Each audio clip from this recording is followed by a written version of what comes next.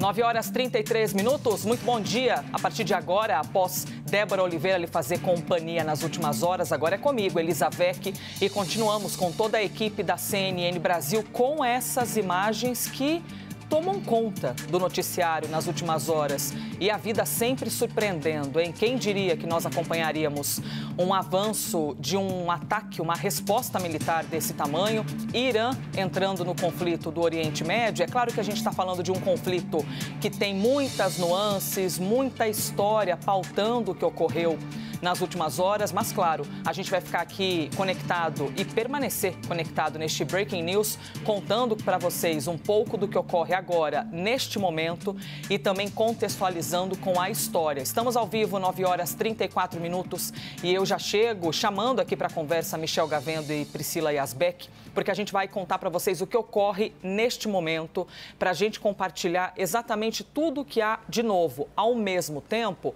a gente fica cá e lá com os Estados Unidos, tá bom? Transmissão internacional, tradução simultânea e você vai ficar sabendo de tudo o que está acontecendo sobre esse avanço do conflito no Oriente Médio. O Gabinete de Guerra de Israel tem uma reunião marcada para agora.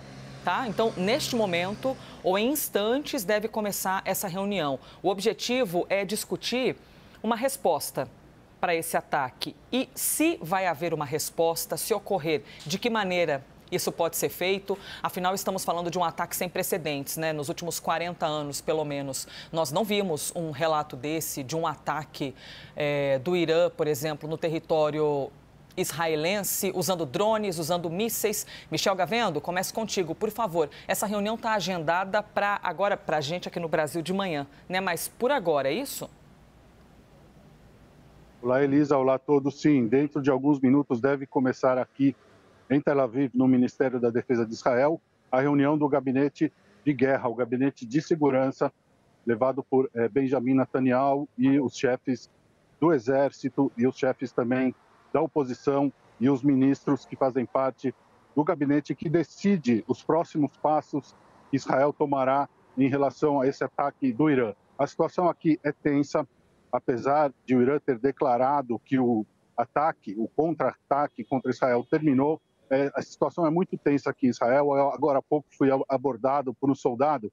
O Ministério da Defesa fica aqui, do outro lado dessa rua, atrás de mim, mas o soldado veio me abordar e pedir ou exigir, dizer que é proibido filmar ou mostrar qualquer parte aqui do Ministério da Defesa, porque há uma preocupação em Israel com esses ataques do Irã de que sejam mostrados locais exatos e que o país é, o exército iraniano tenha condições de calibrar os mísseis e os drones para um eventual novo ataque contra Israel. Israel não leva em conta as declarações iranianas de que o ataque terminou.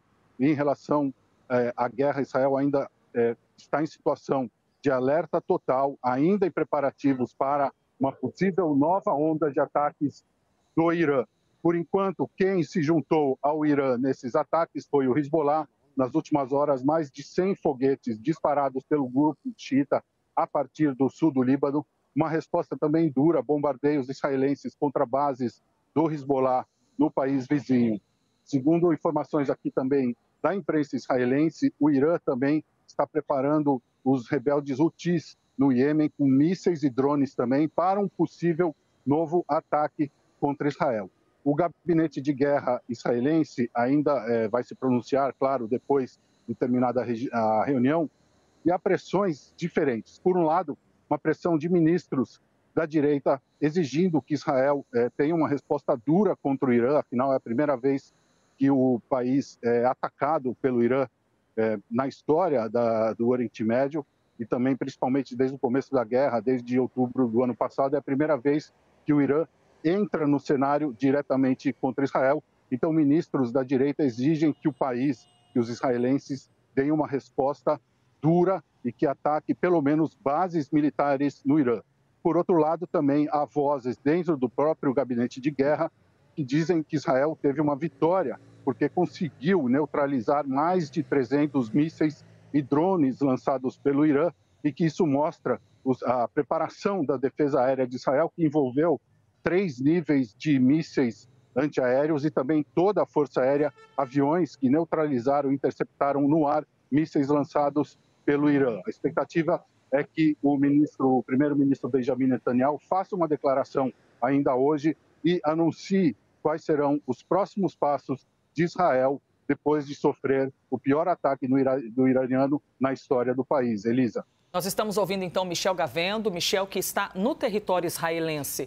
Além de trazer os relatos, estar bem informado com as fontes oficiais, também ouviu nas últimas horas muito desse movimento nos céus de Israel e vem aqui relatar a todo instante as atualizações. Michel, eu já quero te ouvir sobre outra questão. Deixa eu acrescentar a Priscila Asbeck aqui a conversa, por favor, para poder compreender. Asbeck, bem-vinda aqui para essa continuidade da programação. Aproveitando para dizer a vocês parabéns pelo trabalho, né? Porque nas últimas horas não sei nem se conseguiu conseguiram dormir. É, Yasbek, de que maneira a comunidade internacional tem olhado agora tudo isso que está acontecendo? A gente tem a informação de que a Itália convocou líderes do G7 para uma reunião, tem os países do Conselho de Segurança da ONU também devem se reunir virtualmente. Então, nos atualize, por favor, o que ocorre neste domingo de manhã. Oi, Elisa, bom dia. Bom dia ao Michel, bom dia a todos que nos acompanham. Há uma tentativa, então, de líderes internacionais de dissuadir Israel de uma resposta mais incisiva ao Irã para evitar uma escalada ainda maior do conflito e da tensão na região. Como você disse, então, essas reuniões estão sendo convocadas, são reuniões virtuais, tanto do G7 quanto do Conselho de Segurança da ONU. Na verdade, o G7, uma reunião virtual, mas o Conselho de Segurança da ONU também convocando uma reunião e a presidência italiana italiana emitiu um comunicado falando que essa reunião deve acontecer agora à tarde e também a primeira-ministra italiana, Giorgia Meloni, disse que o governo italiano reitera sua condenação aos ataques iranianos contra Israel e também disse que expressa forte preocupação com uma maior desestabilização da região e continua e diz que a Itália continua a trabalhar para evitá-la. Também o presidente americano Joe Biden já tinha falado que essa reunião entre os líderes do G7, que é o grupo que inclui Estados Unidos, Canadá Canadá, Itália, Reino Unido, França,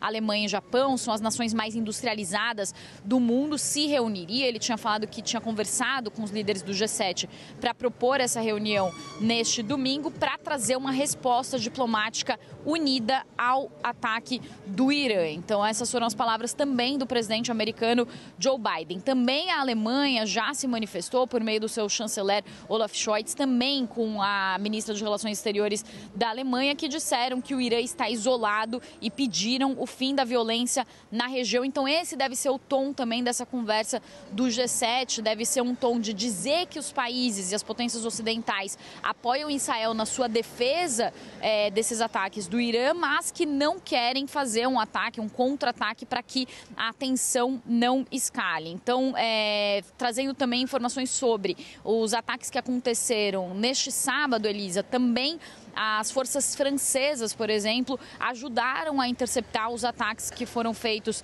pelo Irã, assim como os Estados Unidos. A gente vem falando ao longo da programação de todo o esforço americano para interceptar esses drones e mísseis que foram é, direcionados a Israel, mas também as forças francesas fizeram um esforço também para ajudar nessa defesa. E segundo informações de autoridades francesas que conversaram com a CNN, as forças francesas na região estão em alerta máximo é, também ajudaram a monitorar e detectar drones e mísseis que foram lançados do Irã em direção a Israel e a, essas autoridades também lembraram que a França tem tropas que ficam no Líbano, no Iraque, no Kuwait, no Catar e nos Emirados Árabes Unidos e também tem uma presença militar no Golfo Pérsico, isso segundo os, o Ministério de Forças Armadas aqui da França. E essa fonte não quis comentar detalhes sobre como a França poderia usar essas bases, essas tropas tropas, mas também é mais um país que está demonstrando então o apoio em Israel nessa defesa desse ataque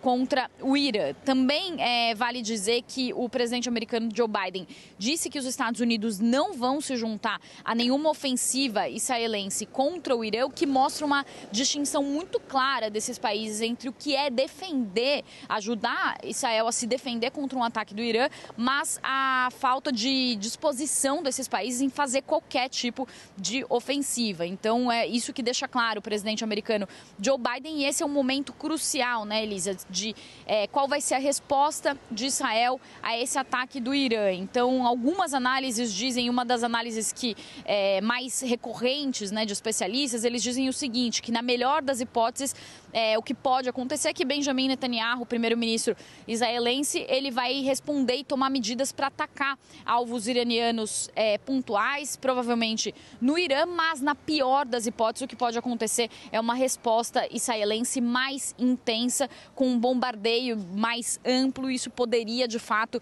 escalar muito as tensões. É isso que esses, essas potências ocidentais, os líderes do G7, também o Conselho de Segurança da ONU, vão tentar é, evitar nessas conversas que vão acontecer ao longo deste domingo. Volto com você, Elisa. Nós estamos então ao vivo aqui pela CNN Brasil neste Breaking News às 9 horas 44 minutos. Michel Gavendo com a gente, Priscila Asbeck, também estamos com os nossos entrevistados, também estamos atentos à programação da CNN nos Estados Unidos. Em instantes, a gente vai compartilhar com vocês o sinal, inclusive com tradução simultânea. E acompanhando essas imagens que impressionam, né? Daqui a pouco a gente vai até se debruçar um pouquinho mais sobre elas para compreender de que maneira é esse trabalho de um domo de ferro?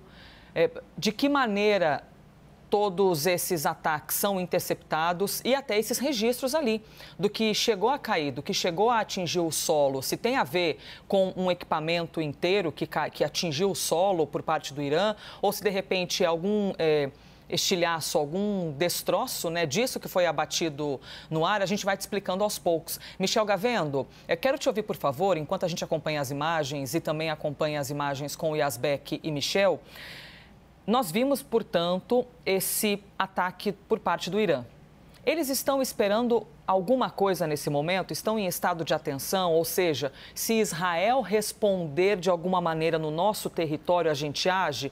Mas esses ataques em territórios. É, que seriam ali de aliados, ataques ao Hezbollah, que você estava narrando para a gente. De que maneira tudo isso é interpretado? Porque o presidente iraniano já alertou que um novo ataque de Israel ou seja, se Israel atacasse novamente, eles iriam responder de maneira mais pesada. Sim, o Irã apresenta todo esse cenário, todos esses ataques, como uma atividade defensiva.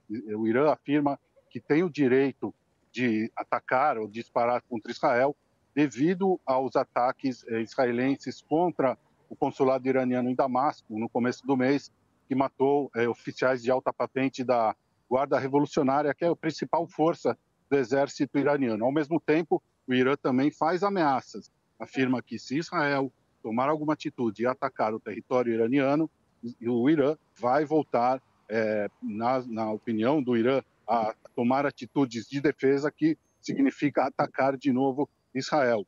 A gente lembra também que é, os ataques dessa noite, dessa madrugada aqui é, no Oriente Médio, não, foi, não foram a primeira resposta iraniana ao, é, ao, ao bombardeio do consulado em Damasco. No início da semana também, forças especiais do Irã tomaram um navio cargueiro ali no Mar Vermelho que é ligado a um empresário israelense. É um navio de bandeira portuguesa que foi levado para águas territori territoriais iranianas. Ao mesmo tempo, é, o Irã é, aumenta também a retórica de guerra fazendo ameaças, dizendo que está preparado para é, voltar a disparar contra Israel, mas que não deseja uma escalada do, do conflito. Em Israel, as vozes também são, ao mesmo tempo, de escalada, dizendo que o país tem o direito agora de atacar o Irã e principalmente bases militares do país, não só em território iraniano, mas também os grupos que o, os iranianos apoiam no Oriente Médio, tanto no Líbano, na Síria, no Iraque, no Iêmen é, na Jordânia, nem tanto, porque é, a Jordânia também, segundo as informações, também ajudou na interceptação de alguns mísseis lançados pelo Irã. Os iranianos também fazem ameaças contra os Estados Unidos. Dizem que se os Estados Unidos interferirem a favor de Israel em qualquer atitude ofensiva do país contra o Irã, os iranianos também ameaçam atacar bases norte-americanas no Oriente Médio. Os Estados Unidos ainda mantêm tropas principalmente no Iraque e na Síria, essas tropas que tem como objetivo, objetivo é, é, evitar o renascimento do Estado Islâmico na região, que foi supostamente, ou que os Estados Unidos declararam que o Estado Islâmico foi derrotado, mas os americanos ainda mantêm tropas na região para evitar uma nova insurgência do, do Estado Islâmico. No Irã, os ataques contra Israel foram apresentados, foram comemorados pela população, a televisão iraniana, as redes sociais, mostrando essas imagens, dizendo que Israel aprendeu a lição e que agora a regra do jogo mudou. O equilíbrio de forças no Oriente Médio mudou, porque se até agora, desde outubro do ano passado, quando Israel estava em guerra com o Hamas e com o Hezbollah e com grupos no Iêmen, a partir de agora, o Irã, que vinha assistindo tudo de fora, agora o Irã também está dentro desse jogo de guerra no Oriente Médio. Elisa.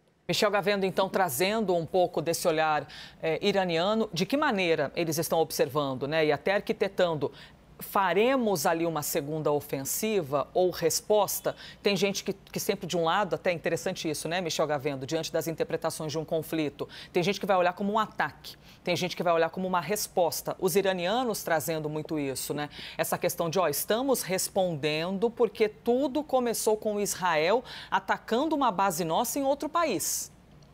E outro lado do conflito vai observar dizendo: é, mas nós estamos fazendo isso porque inicialmente tudo começou lá no dia 7 de outubro, quando nós tivemos o nosso povo morto e pessoas que ainda estão sequestradas e que nós nem sabemos com exatidão o estado de saúde dessas pessoas. A Yasbeck está com a gente aqui ainda em tela, porque é, você tem o trabalho dos israelenses né, de abaterem esses ataques do Irã. Mas também tem, não é, Yasbeck, parte do mundo colaborando com esse sistema de defesa. E uma fonte disse para a CNN, a Yasbeck vem contar para a gente, que a França, onde ela está agora, teve uma participação ativa na defesa de Israel contra esses drones e esses mísseis do Irã. Como teria sido isso, Yasbeck? O que você soube? Pois é, Elise. Então, como eu vinha falando, a França também está disposta a defender Israel, né, ajudar a defender Israel desse ataque que foi feito é, pelo Irã. Mas tem um aspecto interessante que eu queria trazer para a discussão, Elisa, sobre o que, que desencadeou então toda essa tensão mais recente. A tensão entre Irã e Israel já é uma tensão antiga, vem desde a Revolução Islâmica em 1979, quando foi deposta a monarquia no Irã e aí passou a se instaurar a República Islâmica e desde 89 o líder supremo do Irã, o Ayatollah Ali Khamenei, governa o país. O Irã então é acusado Desculpe, de é, financiar diversos grupos não sei se a radicais. Me ouve, teria de interrompê-la. Desculpe a gente a deselegância, minha querida. Eu tenho de chamar rapidamente a CNN nos Estados Unidos. A gente já volta com as informações de Asbeck e também de Michel Gavendo. Atenção, estamos em tradução simultânea. Vamos ouvir, 9 horas 51 minutos antecipou a capacidade de Israel abater 99% desses mísseis e drones que foram uh, lançados contra Israel. Eles sabiam que o, o ataque seria pouco sucedido. Bom, eles sabiam as capacidades de Israel, sabiam que era uma possibilidade limitada, mas foi algo que o Irã tinha de fazer em resposta ao ataque do consulado iraniano a Damasco. Damasco. A questão, então, é até onde o Irã vai é, avançar. Quando os Estados Unidos mataram o general Soleimani, houve um uma resposta de Israel, mas agora temos uma guerra entre Israel acontecendo desde 1982. Por muito tempo foi retórica e agora está se tornando algo muito mais real. Nós falamos sobre essa guerra. O Irã está armando seus aliados como os Houthis, o Hamas, o Hezbollah Israel um, tem uh, feito uma sabotagem do programa nuclear do Irã, ou acreditamos que uh, tenha sido Israel, ou tenha planejado é, o assassinato de outros líderes. Então tem um ataque agora do Irã, do Irã acontecendo para Israel, e parece que os Estados Unidos não querem que isso aconteça. Biden falou para Netanyahu, aceite a vitória. Sim, há essas capacidades isométricas dos dois lados. Os israelenses podem uh, atacar o programa nuclear do Irã ou podem fazer algo em termos de eh, missões de operações especiais. Mas o principal é que tem de descobrir é que tipo de resposta que querem dar, como vão estabelecer as condições para o futuro, porque em algum momento eles vão ter que pensar como conviver com o Irã, seja de forma pacífica ou com um estado de conflito uh, perpétuo. Vocês ouviram também uh, Chris Kuhn aqui no programa dizendo que é preciso respirar e John Bolton disse uh, não, essa dissuasão não aconteceu e o Irã precisa ser atacado com força. Então, esse é o dilema de Joe Biden agora. E Netanyahu. Com certeza, uma decisão deve ser feita. Os historiadores vão olhar para esse momento como um momento de mudança. Será que alguém poderia diminuir as tensões entre o Irã e Israel? As probabilidades também coincidem com a crise em Gaza, isso também não vai se resolver tão cedo. Em muitas formas, o conflito entre Israel e o Irã reflete o que está acontecendo em Gaza. E em nenhum dos conflitos podemos ver algum plano, alguma vontade para superar essas tensões. Como resultado, o perigo é que tenhamos mais disso do que uma diminuição. E vocês ouviram também o embaixador Bolton dizendo que ouviu de fontes de Israel que dos 99 reféns que esperamos estejam vivos, o Hamas não tem 99, talvez tenha uh, talvez uma dúzia ou algumas uh, dúzias. E isso é o Hamas tentando atrasar um ataque de Israel, fingindo que tem uh, reféns para serem negociados. Isso não ajuda nada. E, claro, essa campanha de desinformação de dos dois lados não ajuda a libertar os reféns. E isso vai ser uma questão importante para o público israelense e também para o futuro, como vão mediar ou liderar esse conflito. Então, isso vai determinar se eles vão invadir Rafah ou não. Muito obrigado. Seguindo com essa cobertura especial, nós vamos conversar com Mark Rubio e também o senador Jan Fetterman e o ex-general da CIA. Voltaremos em instantes.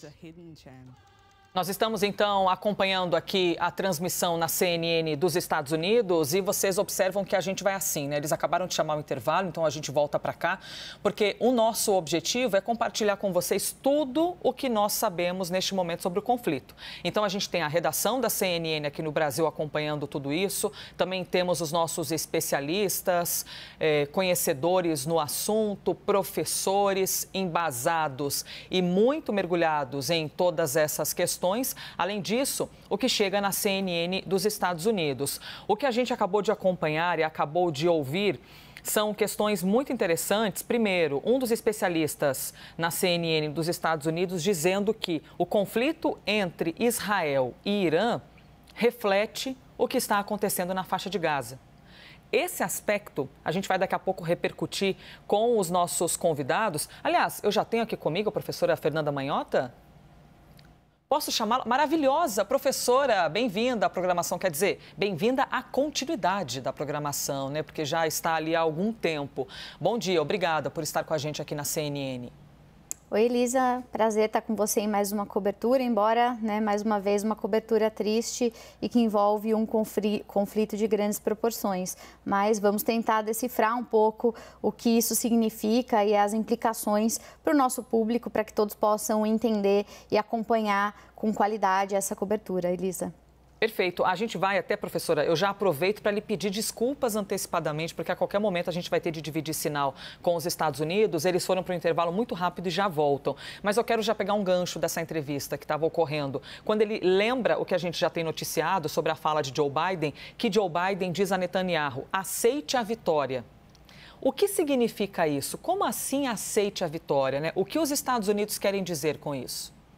Olha, Elisa, não interessa aos Estados Unidos, aliás, não interessa a nenhuma das grandes potências que esse conflito escale, que ele ganhe proporções regionais ou mesmo globais. Então, o que a Casa Branca tem tentado transmitir ao governo Netanyahu é que a defesa empreendida em relação a esses ataques ontem foi bem sucedida, é, frustrou né, a expectativa iraniana de que houvesse baixas ou danos significativos e que isso já é suficiente resposta é, do ponto de vista militar da superioridade israelense. No fundo, é um apelo do governo Biden para que esse conflito não tenha uma tréplica e, portanto, que ele não fuja do controle. É, a gente está falando, Elisa, de um conflito que é, ganha um novo momento. Se eu tivesse que usar uma palavra ou duas palavras para é, resumir o que a gente está assistindo aí uhum. na nossa tela, eu diria que é primeiro histórico e depois imprevisível. É histórico, Elisa, porque apesar de o conflito entre Israel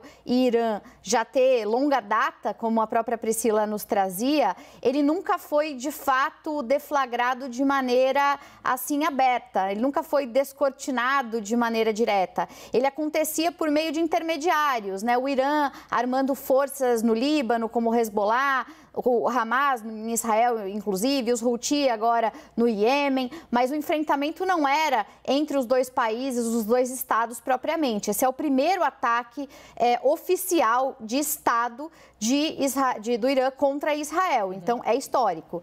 E ele é imprevisível, é, é, Elisa, justamente porque esse risco da, re, da retaliação fugir ao controle e gerar né, uma desproporcionalidade que não tem fim, ele é iminente, ele é real. Né? Então, hoje as perguntas que a gente tem que se fazer, na minha opinião, são três. Né? É, o que é considerado uma vitória para cada governo? Né? O Biden tenta convencer Netanyahu de que a defesa bem-sucedida é melhor do que qualquer novo ataque. É isso que ele tem tentado dizer aos israelenses. Mas será que isso é considerado uma vitória para o governo Netanyahu? Será que para o Irã é, esse ataque pontual foi suficiente para deixar um recado, como era o objetivo? Objetivo foi o suficiente para calibrar a capacidade de organização regional de Israel e dos seus aliados? Então, essa é a primeira pergunta. O que é considerado uma vitória para cada governo? A segunda pergunta é justamente relacionada a essa primeira: quais são os objetivos desses dois uhum. é, líderes, né? tanto no caso do Irã quanto em Israel? E para finalizar, é, caso haja uma escalada, as potências vão desempenhar que papel? O Biden vai continuar dizendo que é melhor deixar para lá? Ou ele vai ser obrigado a tomar um novo posicionamento? Elisa, eu deixo isso para começar e a gente desenvolve daqui. Não, é, é, é um ótimo menu de entrada, né, para a gente poder expor aqui parte desse nosso raciocínio e até inclusive essa escolha de, do, do, país iraniano, né, de fazer o ataque com drones. Poderia ter feito uma outra escolha? Poderia ter sido pior? O que isso também dita um pouco, né, professora Manhota, dessa linguagem do não dito, né, sobre a guerra, tudo aquilo que a gente tem que interpretar. Enquanto a gente acompanha as imagens, ouve a professora Fernanda Manhota e também conectados com a CNN CNN nos Estados Unidos, a gente te mostra agora uma parte de um trecho que foi exibido pela CNN nos Estados Unidos, que para a gente poder ter melhor uma dimensão do que foi o início dessa nova fase do conflito no Oriente Médio, nós vamos acompanhar o relato direto de Israel do editor de assuntos internacionais, o Nick Robertson. Ao vivo, ele relatou ter visto um clarão no céu que ele nunca tinha visto antes e presenciou centenas de mísseis sendo interceptados. Vamos ver esse trecho. I'm hearing barrages of what sound like Iron Dome interceptors, but more in the distance. That perhaps that phase of missiles that was intercepted over Jerusalem close to us, that phase of missiles is moving through now and being intercepted somewhere else. But those explosions that we could see in the air behind me, and I'm hearing multiple, multiple detonations again of what sound like intercepts in the sky. I am not, and I should be very clear about this, I am not hearing the sound of impacts. I am not hearing the sound of things hitting and detonating on the ground. What we're hearing at the moment are the detonations of the outgoing, it sounds like Iron Dome intercepts We're seeing the intercepts in the sky, and we're hearing the detonations associated with those intercepts in the sky. But I have to stress, it, it's a little hard to pick out the precise dynamic of what's happening. That was another white flash. It, uh, and I'm seeing more uh, yeah, more amber orange tracer fire, um, possibly intercept missiles in the sky ab uh, uh, uh, above us and behind us here. So this is ongoing. That was another big detonation and rumble there. This is an ongoing situation. I would say, while we've been talking here, we've witnessed 20 to 30 perhaps, perhaps intercepts. Now, we don't know what's being intercepted in the skies above us. But I hadn't that bright white light that I told you I saw tracing through the sky over here a couple of minutes ago. I haven't seen something like that in the skies here uh, above Israel. It was not something that we've witnessed around Gaza. So I would estimate, and this is an estimate because at the moment there's a level of uncertainty about precisely what we're seeing.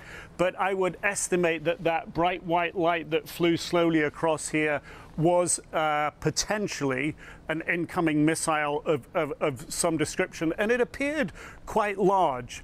It was certainly not um, what I'm familiar with in terms of the, the amber light that you see, the amber glow that you see with the interceptors. Uh, and the interceptor did intercept with that bright white light.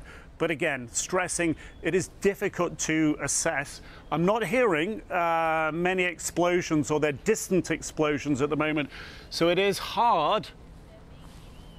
It's hard to precisely assess what we've just witnessed here, but it seemed like a phase of missiles, and I'm hearing distant intercepts um, in this direction. It seems like we heard a phase of missiles pass through, and the intercepts are happening um, perhaps elsewhere on the outskirts of Jerusalem right now.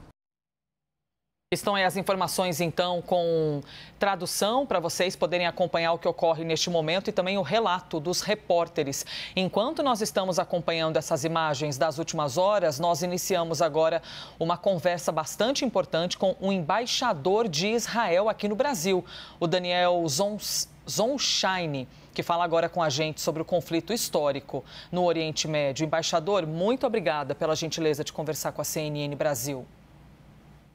Bom dia para todos. E é importante que nós possamos ouvi-lo, por favor, sobre este momento do conflito, sobre o que tem ocorrido do ponto de vista de defesa de Israel e também de eventuais respostas. Mas, inicialmente, como o senhor é, acompanha e interpreta o que tem havido nas últimas horas no território israelense? Bem, em primeiro lugar, estou agora em Israel. Então, isso foi uma experiência que não é só por causa de televisão, mas eh, foi aqui, eh, junto com minha família, eh, preocupados, com muita pressão, para saber o que vai, o que acontece.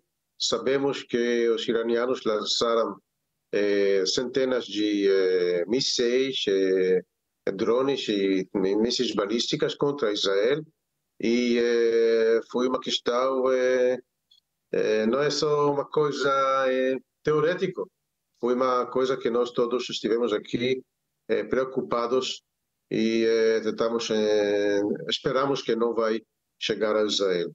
E, enfim, realmente não, não chegou o a sistema israelense, defesa aérea, junto com os aliados, conseguimos interceptar todos, quase todos, mais de 200 eh, mísseis, drones, mísseis eh, balísticos que foram lançados contra Israel. Eh, isso é uma coisa muito preocupante, porque é a primeira vez que recebemos de Irã um ataque direto.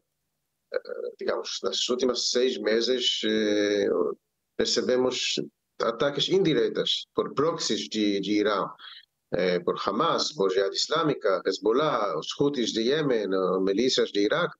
Então, é a primeira vez que recebemos um ataque direto de um país eh, contra Israel. É uma coisa eh, muito preocupante.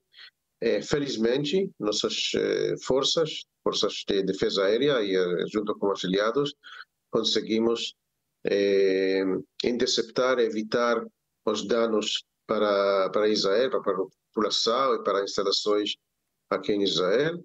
Eh, se não tivermos este tipo de defesa, os resultados eh, poderiam ser muitas difíceis para Israel, como vimos este tipo de ataques em Ucrânia, por exemplo. Então, pelo menos deste ponto de vista, temos confiança no nosso sistema de defesa. Embaixador, é, até confirmando uma informação aqui bem importante, porque desde o início do conflito nós estamos aqui muito conectados, né, enquanto brasileiros também, com o que ocorre em Israel. É a primeira vez que o senhor dá uma entrevista desde o avanço do conflito, envolvendo inclusive a situação aqui diplomática com o Brasil? É a primeira vez de que estou, sim, é, fazendo uma entrevista é, vivo é, nas últimas é, dois meses, sim. E agora estou fazendo isso de Israel mesmo. Então é uma outra dimensão da, desta entrevista. Uhum. Então é a primeira vez que nós conseguimos e nós ouvimos aqui um embaixador de Israel depois do avanço das da crise diplomática entre Brasil e Israel, o embaixador israelense que representa então Israel aqui no Brasil e quem viabilizou essa conversa foi Basília Rodrigues, que é quem eu já convido agora para participar conosco. Basília, bem-vinda, hein? Obrigada por viabilizar para a gente essa entrevista. Obrigada, Elisa. Obrigada também, Daniel Zunshine, por parar aí é, o seu dia e falar primeiro com a gente aqui da CNN Brasil. A gente vai tocar aqui em pontos muito sensíveis sobre essa situação, embaixador, até para saber como a embaixada é, responde ou se manifesta sobre esta avaliação de que o Irã não agiu, mas reagiu. Uma resposta ao ataque é, israelense à embaixada do Irã na Síria, que é, resultou na morte de comandantes é, militares da Guarda Revolucionária Iraniana é uma ação ou uma reação? Como que Israel observa o que está acontecendo neste momento? Bem, Israel não tomou responsabilidade por este ataque sobre edifício perto do consulado de Irã em eh, Damasco. Eh, mas Irã eh, avalia que Israel está atrás disso e, eh, do ponto de vista deles, provavelmente é reagir. Eh, mas, como disse, é a primeira vez que é um ataque direto do Irã sobre Israel. Isso é uma coisa que não aconteceu no passado e uma coisa muito grave. É, do ponto de vista israelense e acho que é do ponto de vista mundial. Porque até agora o Irã só apoiou de uma maneira bem ativa os ataques contra Israel via proxies, via Hamas, via Hezbollah, via Jihad Islâmica e outros. É, esta primeira vez que está fazendo isso de maneira direta, então não é uma coisa que eh, começou eh, eh, algumas semanas atrás, mas começou pelo menos seis meses atrás, com o ataque de Hamas sobre Israel. Hamas que foi apoiado, treinado e recebeu o, o apoio e armas dele do Irã. Então, estamos numa numa campanha que está pelo menos 100 meses eh, já está andando. Então, você considera que foi um ataque injustificável, porque no momento como esse, todo mundo tenta entender a linha temporal, explicar por que, que o Irã agiu dessa forma. Senhor, a avaliação do senhor como representante do governo israelense é de que é um ataque injustificável, não tem, então, uma confirmação de que Israel tenha agido contra a embaixada do Irã na Síria? Como disse, isso é uma coisa que eh, já está, Irã está lutando com Israel mais de seis meses, mas agora é a primeira vez que está fazendo isso direto da área dela para a área de Israel. Então, isso é uma coisa sem precedente né, neste conflito que já acontece há muito tempo.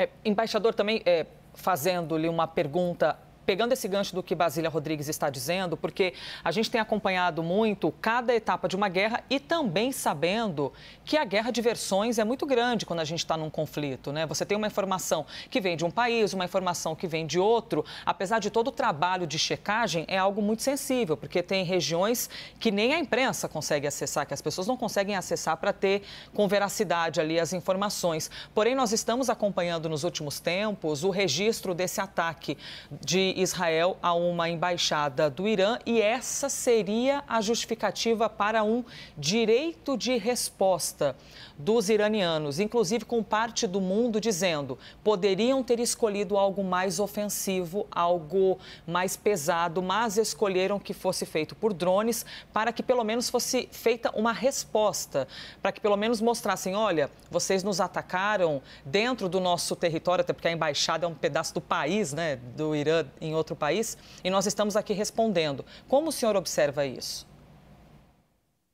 Não há nenhuma justificação para um ataque desta natureza, como aconteceu esta noite eh, de Irã para Israel. O fato é que não tivemos lá eh, centenas de mortos neste ataque, isso não foi por causa de eh, Irã, mas por causa de Israel. O, o, fato que as forças israelenses eh, conseguiram eh, interceptar quase todos os mísseis, isso está dizendo que eh, isso é uma coisa que pode ser levado eh, de uma maneira leve, de uma maneira eh, eh, eh, que não é pesado. É um uhum. ataque uhum. direto de, uma, de um eh, país, do, do território dela, para o território de outro país. Isso é uma coisa que não aconteceu até agora, uma coisa sem precedente. Não pode eh, justificar isso de nenhum jeito. Embaixador, o senhor que está aí em Israel, isso é super importante, é um relato é, em loco dos acontecimentos. Há um desencontro de informações sobre o saldo é, desses ataques iranianos a Israel até aqui pessoas, é, há vítimas, pessoas mortas ou pessoas que tenham saído feridas destes ataques. Quais são as informações que o senhor tem como embaixador de Israel aqui no Brasil, mas estando no seu país, em Israel, ouvindo os diferentes, os diferentes canais aí de informações oficiais? Quem foram ou quantas foram as vítimas até agora destes ataques de Irã em Israel? O fato é que não tivemos vítimas foi, eh, pelo menos, uma, uma menina ferida, eh, de maneira que eu sei, e eh, outras pessoas eh, afetadas por eh, as bombas e as coisas, mas não fisicamente. O fato é que não aconteceu, isso não está eh, diminuindo a seriedade e a gravidade, o, o, o fato que é, a gravidade digamos, do, do, dos acontecimentos. A gravidade deste, deste, eh, deste ataque. É, o fato que nós preparamos é, todos os sistemas de é, defesa aérea e evitamos as vítimas na lado israelense, não estou dizendo que isso é uma coisa que pode ser aceitado. isso é uma coisa que já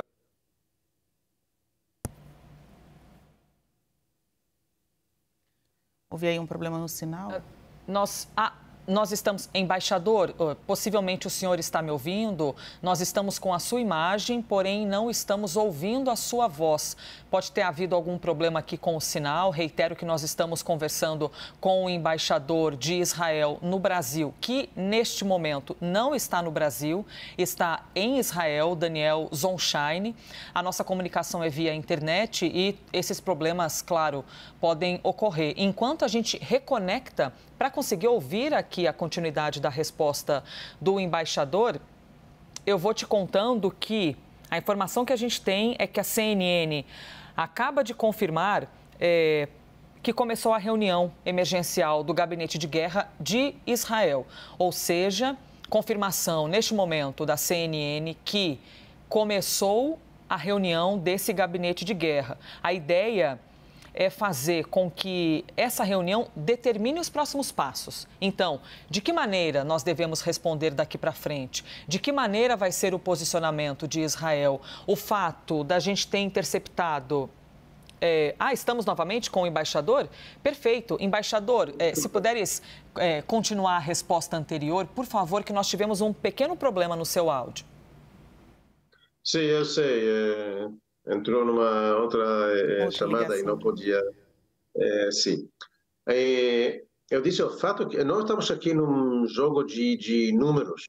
O fato que nós conseguimos, ou que nós preparamos e defendemos nossos nosso público, nossas pessoas, nossos civis, nossas instalações, o fato que nós conseguimos proteger isso não é, diminua a gravidade de é, das coisas que aconteceram é, este ataque.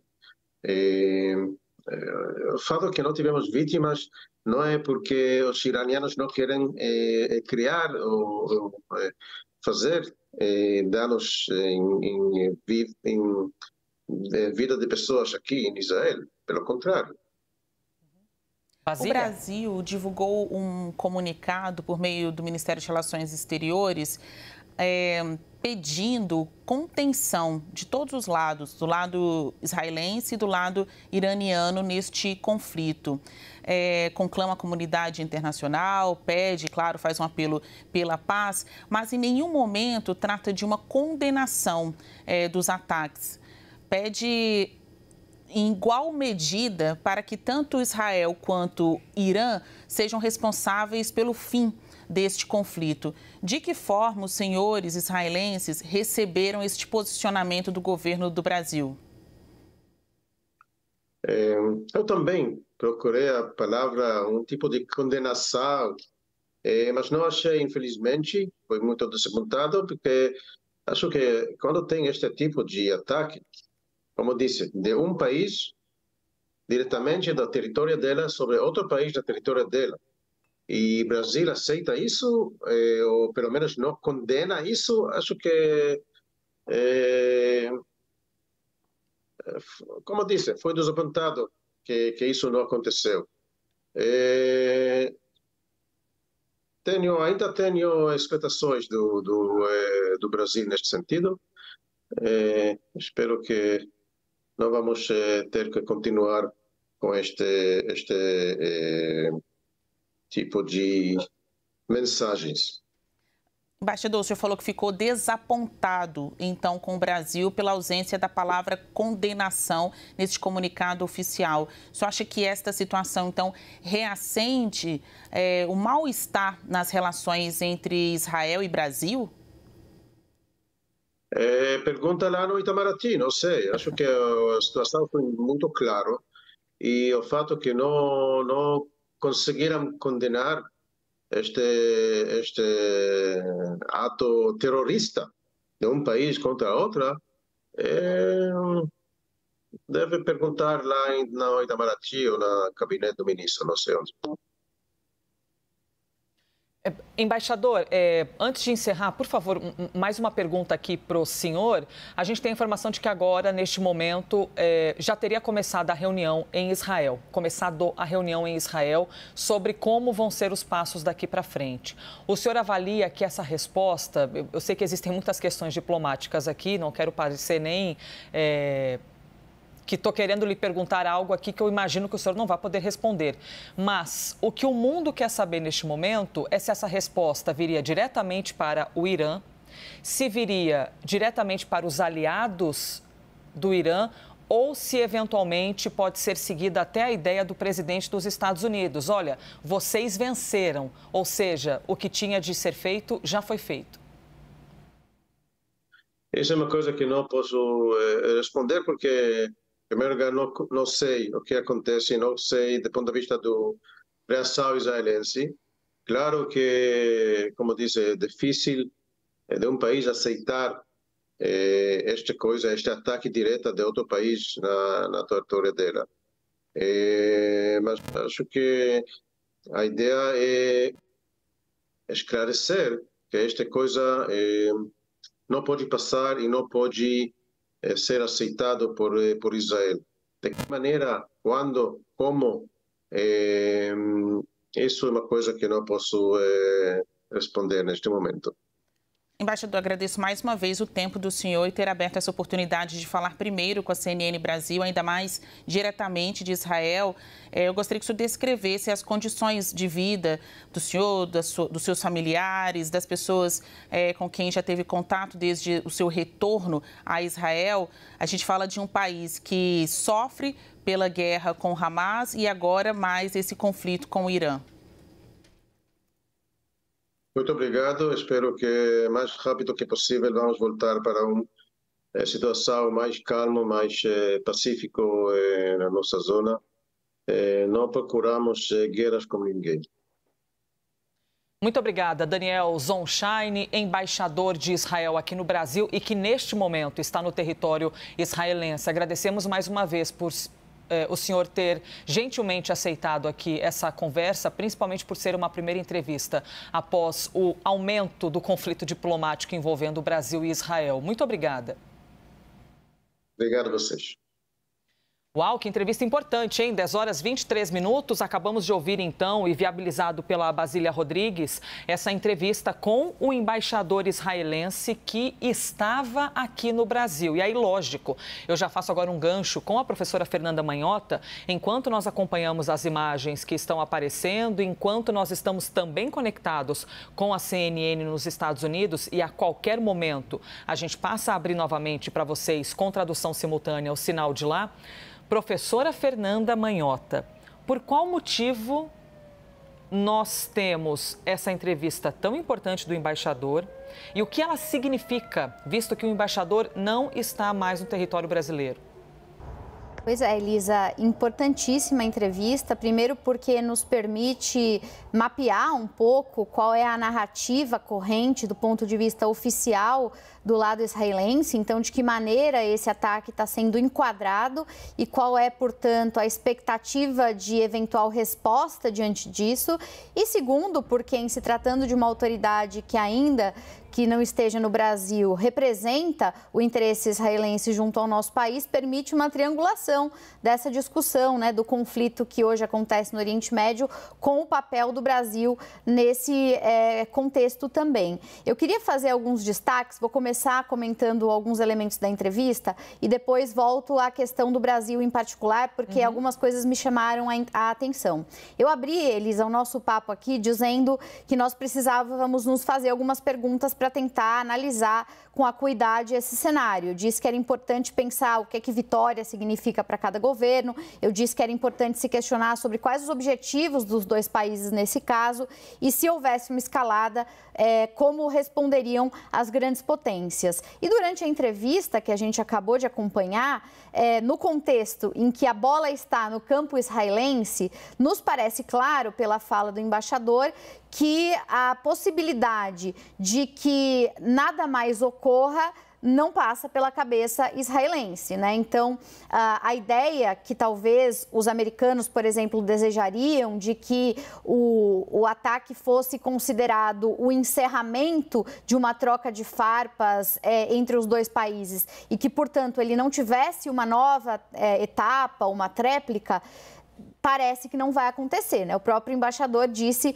é, usando aí as palavras dele, que é muito difícil a um país não responder ao que eles entendem como um ataque injustificado. Então, a narrativa é de que foi um ataque, não uma resposta. Isso já é uma informação importante. Além disso, é, Elisa, quando a gente vai para o tema do Brasil, que é o que eu gostaria de comentar é, melhor, se a gente tiver condições, uhum. é, em relação a, ao papel que o embaixador é, deixa né, para o gabinete brasileiro. Inclusive, me chamou a atenção que ele disse, é, quando perguntado sobre a frustração em relação ao documento emitido pelo Brasil, uhum. é, ele disse: pergunte ao gabinete do ministro Celso. Né? Lembrando que Celso Amorim não é ministro, não é ele é ministro, é assessor né? da presidência, mas é tratado como ministro, Sim. inclusive, por ter grande ascendência em relação à presidência. E é uma figura particularmente central nesse tema. E aí, para concluir essa conversa, falando do Brasil, Elisa, eu queria chamar a atenção para o fato de que o Brasil vai sendo colocado numa posição muito desconfortável no sistema internacional, porque dois dos seus grandes aliados no contexto da plataforma BRICS vão se tornando os é, é, alvos ou os elementos centrais que desencadeiam conflitos. A gente já tinha a Rússia na Ucrânia e agora a gente tem o Irã no Oriente Médio, né? Lembrando que os BRICS ampliados incluem o Irã como um parceiro do Brasil nesse sul global. E só para encerrar, Elisa, nas últimas semanas a gente comentou aqui na CNN, inclusive durante o 360, sobre as contradições de votações do Brasil no próprio Conselho de Direitos Humanos da ONU. O Brasil condenou Israel é, no Conselho de Direitos Humanos em relação aos abusos ocorrentes em Gaza, mas se absteve em casos como, por exemplo, o do Irã e de abusos em relação às mulheres. Então, a pergunta que já muito se faz no caso da política externa brasileira é se pau que bate em Chico bate em Francisco, viu, Elisa? Reflexão boa, hein? Que nós possamos aqui sempre deixar também as provocações. É lógico que para quem nos acompanha, não é, professora? Você que está conosco aqui às 10 horas e 27 minutos, possivelmente as pessoas tenham posicionamentos, interpretações, mas é muito delicado o momento de conflito, principalmente porque as interpretações, aliás, os fatos, nós trabalhamos embasados em fatos, mas os fatos, às vezes, eles são relativos, porque você tem um conflito de, de verdades, um conflito de versões nesse, nesse nesse momento todo no Oriente Médio, o que aumenta ainda mais a complexidade desse tipo de cobertura. Muito importante poder ouvir a professora. E vamos ouvir agora, atenção, em um brasileiro que está neste momento em Israel, Daniel Segal. Muito obrigada, Daniel, por conversar com a gente aqui na CNN Brasil. Eu quero saber, por favor, se nas últimas horas você ouviu aí alguma movimentação, é, se teve alguma percepção sonora né, de algum ataque ou até o sistema de defesa de Israel e como tem estado a, a, o, o momento aí para você? Olá, Elisa, bom dia. Obrigado pelo convite. É, nas últimas horas, é, não. É, o clima aqui em Israel sim está tenso e ontem de noite a maior parte da população passou a noite em claro com essa tensão toda também as crianças, o colégio foi anular, foi cancelado as aulas essa semana, pelo menos os próximos dois dias. E hoje as pessoas têm que acordar e trabalhar normalmente como se nada tivesse acontecido. É uma situação bem estranha que a gente vem vivendo aqui, ou seja, ontem à noite está dentro de um bunker com todos os seus filhos e eles não, não podem ir mais para o colégio esses dois dias. E agora de manhã você tem que trabalhar normalmente. Mas por enquanto as coisas estão, estão em silêncio aqui. Nossa, então vocês tiveram de ficar dentro de um, de um bunker porque houve um aviso por parte de Israel e até quero compreender contigo isso, por favor. Vocês souberam oficialmente antes? Chegaram mensagens, algum aviso por parte do governo? Como é que foi esse preparo? Sim, o governo aqui, primeiro eles, assim que sábado de noite eles soltaram um aviso que por dois dias os colégios estariam fechados. E depois, eu, o horário certo, exato aqui eu não, não vou saber, mas por uhum. volta das 11 da noite aqui de Israel, eles falaram que os drones tinham saído do Irã e que iam chegar entre 2 e 5 da manhã. Então, provavelmente se iria escutar sirenes. Então, muita gente, como por exemplo a minha família, para a gente não ter que é, acordar no meio da noite alguma coisa assim, a gente já se dirigiu ao bunker, nos preparamos no bunker e ficamos lá passando a noite. E, obviamente, é muito difícil você dormir sabendo que é, tem drones vindo na sua direção e também, logo depois, soltaram mais um aviso que tinham também mísseis, é, mais de 150 mísseis que foram dirigidas a, a, Israel. E tem que entender que Israel é um país muito pequeno, é, não é um país grande. Então, é, a gente chegou a ver, meu, meu, meu, filho mais velho, ele saiu um minuto e viu, e se você chegar a ver os mísseis passando, os drones passando, é, e você escuta o, o barulho, mesmo que no local onde a gente estava, a sirene não chegou a tocar. Mas a gente passou toda a noite em claro e dentro do bunker. Nossa, isso é um pavor gigantesco, Daniel. Imagino você com a sua família, seus filhos. Vocês receberam então a mensagem de que Irã tinha disparado mísseis e também enviado drones. É, a sugestão, então, era que vocês ficassem dentro de um, de um bunker e era essa a maneira de se proteger, certo? Ficar ali nesse ambiente que tem alguma segurança maior, à espera de um novo recado, à espera de que eles avisassem que isso tinha passado? a sugestão oficial foi ficar próximo a um bunker. Ah. Só que como a gente tem, a gente, a gente é afortunado, então a gente tem dentro de casa, a gente tinha um bunker em casa, a gente podia dormir lá, mas tem muitas pessoas que não têm. Então, é, imagine a situação, você saber que pode tocar o alarme, pode ser que vai tocar e você vai ter que sair com todos os seus filhos para a rua ou para algum lugar público onde tem um, um bunker para você poder se proteger. Uhum. O aviso oficial foi próximo ao bunker, mas é, como era das duas às cinco da manhã e a gente tem criança pequena, a gente sabia que poderia acontecer e seria melhor a gente já dormir direto e passar a noite no bunker. E desde então, Daniel, vocês receberam alguma nova mensagem? O que tem sido informado para vocês? Não sei se a emissora local também está conectado com isso. Como é que vocês fazem para oficialmente estarem por dentro e até protegidos? Então, existe um aplicativo do governo que ele avisa onde, quanto tempo você tem para correr até o bunker e se existe algum, algum alarme próximo ao local onde você está. Você também ouve a sirene da cidade também.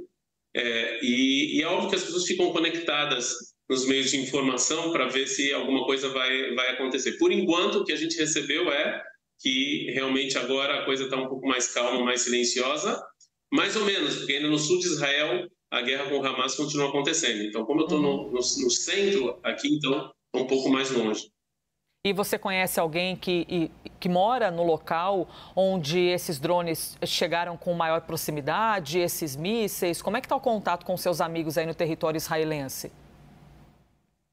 Sim, conheço. Inclusive, eu tenho alunos que moram em Jerusalém e a 1h42 da manhã a sirene tocou e eles tiveram que correr é, para o bunker. Eu tenho família também que mora em Jerusalém que também teve que fazer a mesma coisa 1h42 com criança pequena no meio da noite é, tocou o alarme, eles tiveram que sair correndo é, para o bunker e realmente uma situação assim muito tensa e que dá um certo um certo medo de você não saber exatamente o que vai acontecer.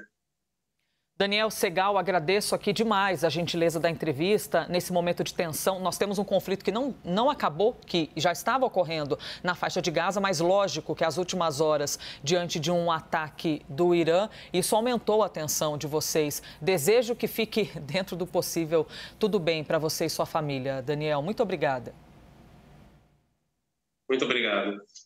Tá, então, o um relato de um brasileiro e com essas questões tão sensíveis, hein? O governo nos avisou sobre a vinda de drones. Porque a gente imagina, é, imagina você receber uma mensagem dizendo, ó, em tanto tempo vai chegar um ataque. Então, protejam-se. Isso é desesperador desesperador que essas pessoas passam no Oriente Médio. Olha, enquanto nós estamos acompanhando aqui as imagens de tudo o que aconteceu no céu de Israel nas últimas horas, a gente traz aqui rapidamente, atenção, hein? A Isabel Mega tem um posicionamento do Brasil sobre o que acontece agora no Oriente Médio. O Ministério das Relações Exteriores pediu máxima contenção nessas palavras a todas as partes envolvidas no conflito para evitar uma escalada ainda maior. Isabel, queremos ouvir-te, por favor, bem-vinda. Oi, Elisa, muito obrigada. Bom dia para você, bom dia para todo mundo que acompanha a CNN Brasil neste domingo. Elisa, olha só, esse posicionamento que você mencionou vem em uma nota oficial do Palácio do Itamaraty, divulgada à imprensa ainda ontem à noite, já bem tarde, depois das 11 horas da noite. Esse comunicado foi divulgado, manifestando a grande preocupação do governo brasileiro em relação a essa escalada do conflito no Oriente Médio. Essa nota diz ainda que o Brasil apela a todas as partes envolvidas que exerçam a máxima contenção e conclama a comunidade internacional a mobilizar os esforços no sentido de evitar uma escalada. É um comunicado breve que afirma ainda que desde o início, lá desde o período de 7 de outubro, o governo vem alertando sobre o potencial destrutivo do alastramento dessas hostilidades. Por enquanto, o governo brasileiro vai ficar ainda com esse posicionamento da noite de ontem. Ainda ontem, o presidente Lula falou com o ministro das Relações Exteriores, o Mauro Vieira, também se consultou com o, o ex-chanceler do Brasil, atual assessor da presidência da República para Assuntos Internacionais, o Amorim, Celso Amorim, e, portanto, mantém contato a todo momento com essas autoridades. Falei com o Celso Celso Amorim hoje pela manhã, ele mantém esse posicionamento e diz que é preciso acompanhar. O mesmo posicionamento vem do Palácio do Itamaraty. É um domingo de monitoramento, portanto, aqui na capital federal, para acompanhar quais podem ser os eventuais novos desdobramentos a partir dessa escalada do conflito com os ataques por drones e também mísseis vindos do Irã em direção ao território israelense.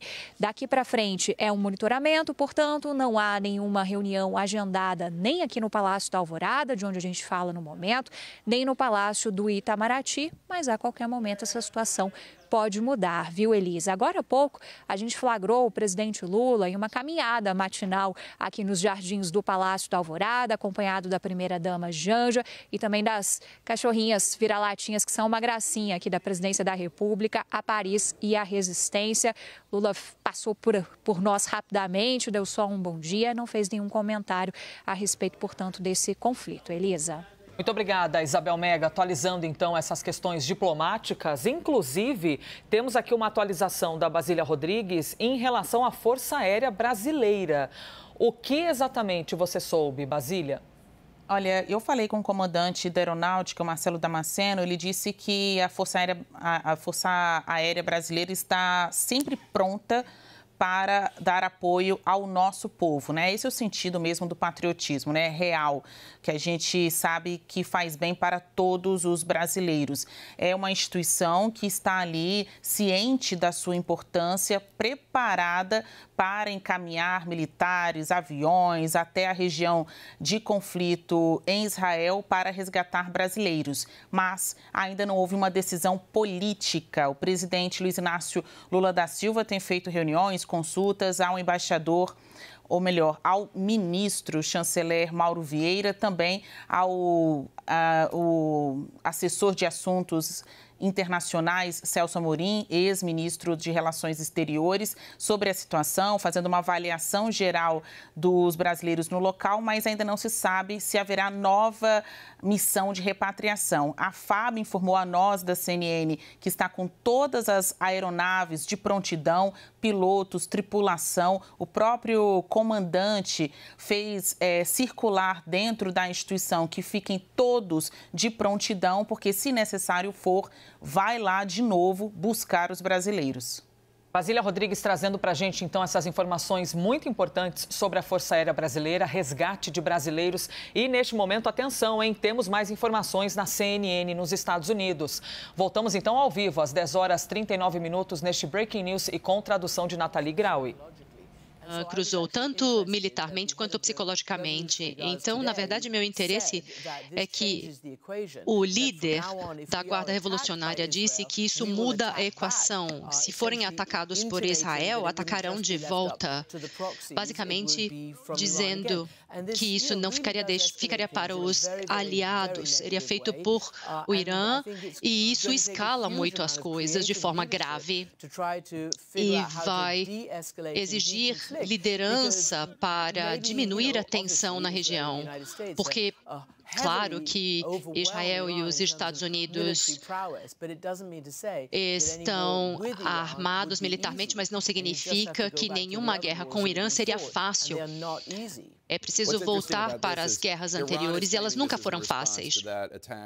Então, o Irã disse que isso é uma resposta àquele uh, ataque uh, alegadamente conduzido por Israel uh, contra líderes iranianos no consulado em Damasco, na Síria.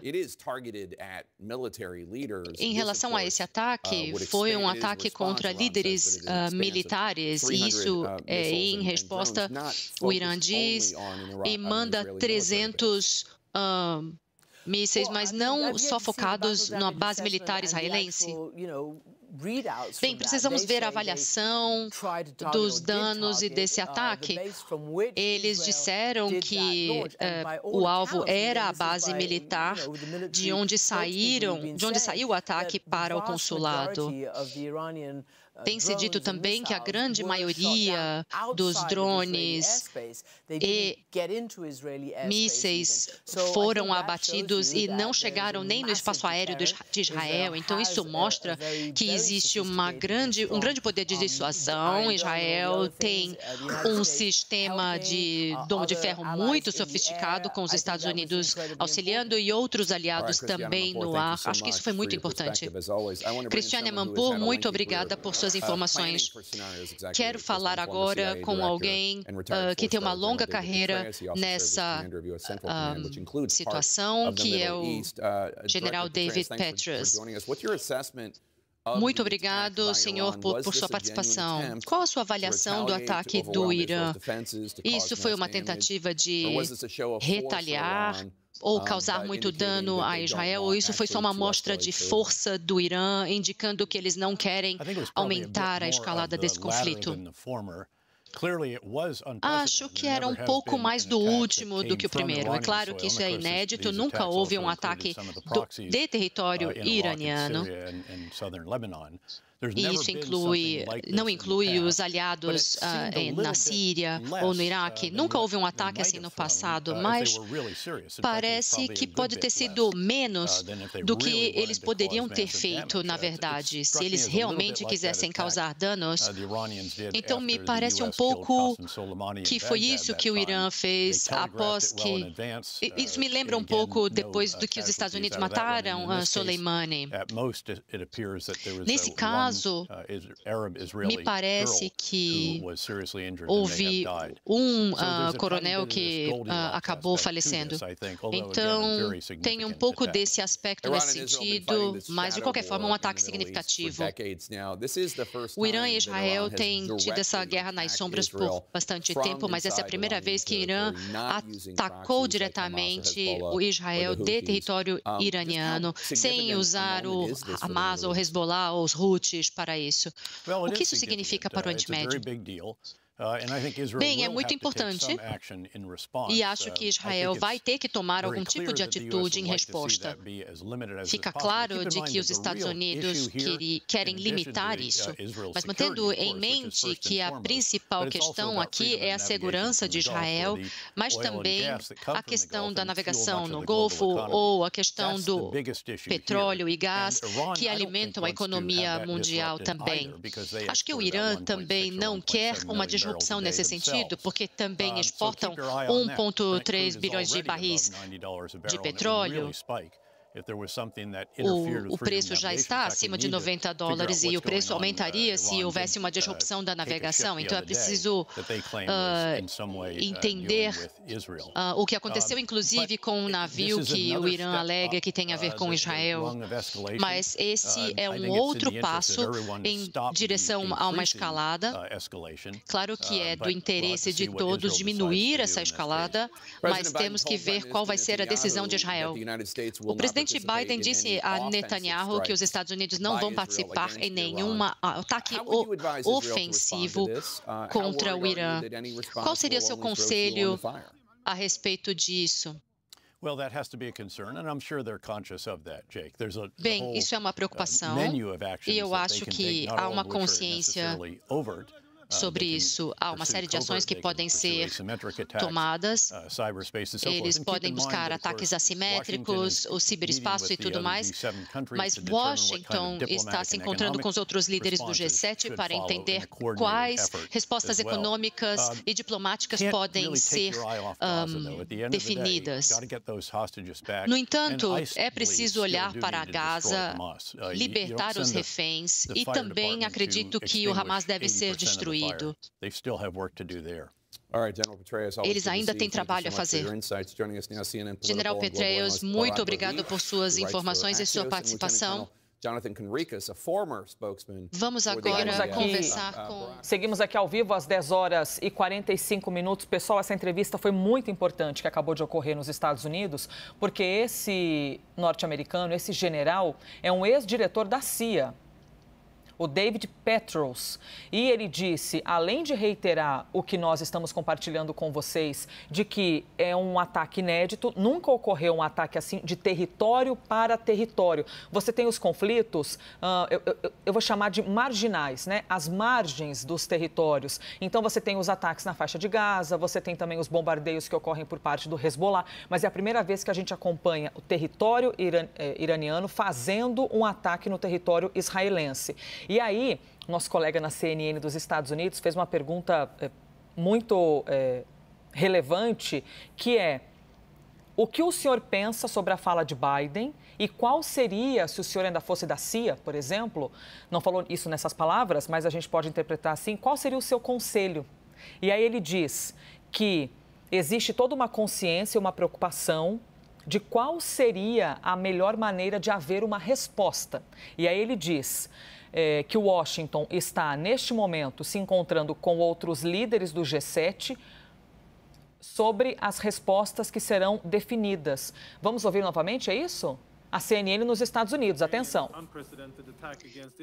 E já que esse ataque do Irã contra Israel não foi bem sucedido e não causou vítimas e poucos danos, apenas uma garota que ficou ferida no sul de Israel, mas foram 300 mísseis e drones e pouco dano em Israel. 99% desses mísseis foram interceptados. Isso não é um ataque bem sucedido e isso dá ao gabinete de guerra de Israel bastante tempo para pensar, para uh, pensar em uma boa estratégia. E talvez o mais importante, coordenar com os Estados Unidos e outros aliados para que não seja algo que prejudique os interesses dos Estados Unidos, mas, ao contrário, promova.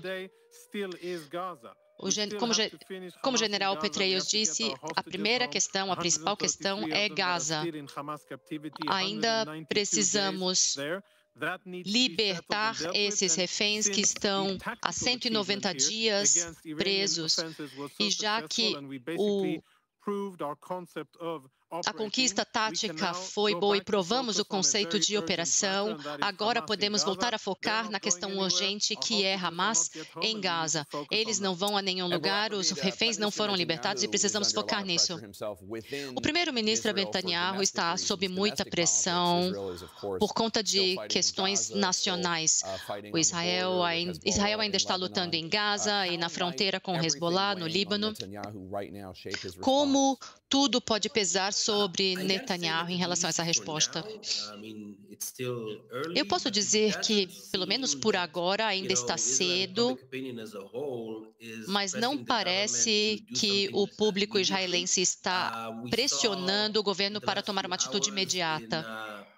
Vimos nas últimas horas, em uma, um canal de televisão, Vimos uma série de comentadores pedindo uma resposta rápida e forte, mas a questão é que ontem, quando o gabinete de guerra, o gabinete de segurança se reuniu, autorizou Yoav Galant, Benny Gantz e Netanyahu tomaram uma decisão sobre a resposta. Dois ministros votaram contra. Esses foram o ministro de, uh, de Segurança de Defesa e o ministro da Fazenda, porque eles sabem que se autorizarem esses três ministros a tomarem uma decisão, eles não terão nenhuma influência no resultado. E aí o resultado pode ser que não haja uma resposta imediata. Eu acho que é isso que importa.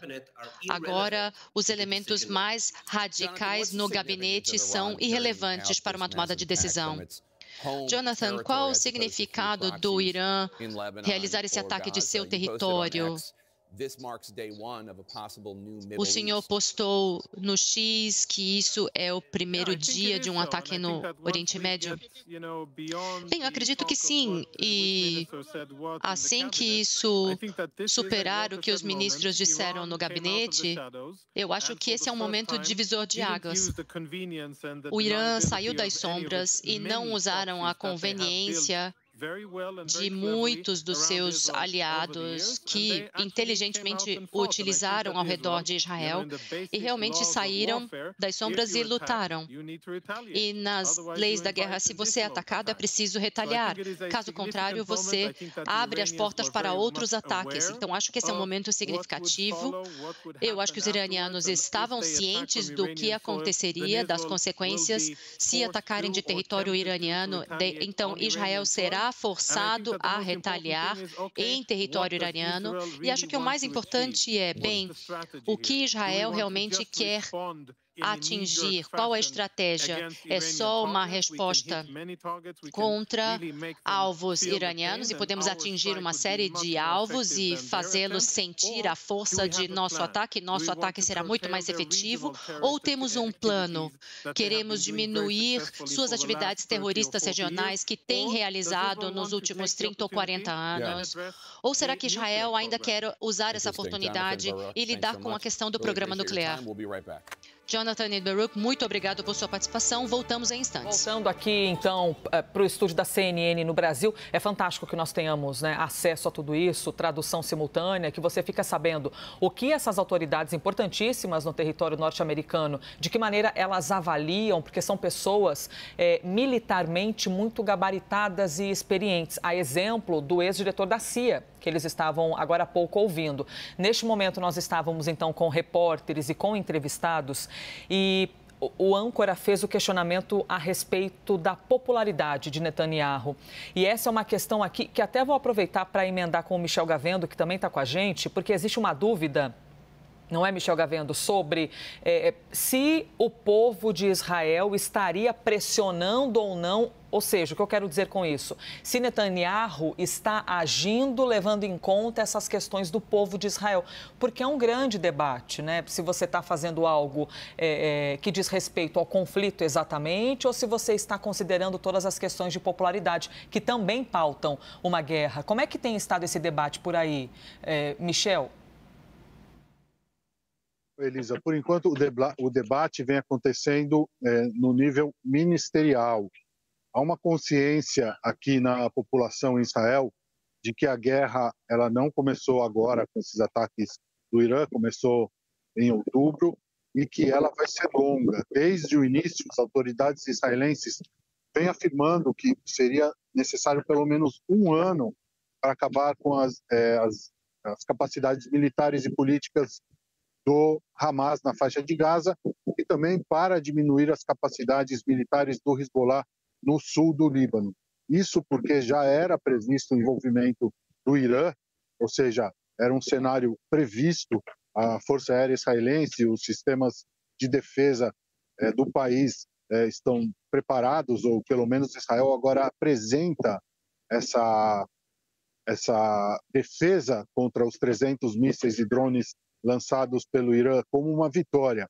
E é isso que Netanyahu é, fez até agora. Ele fez uma breve é, é, declaração, uma breve publicação no X, no antigo Twitter, dizendo conseguimos frear, conseguimos nos defender e juntos vamos vencer.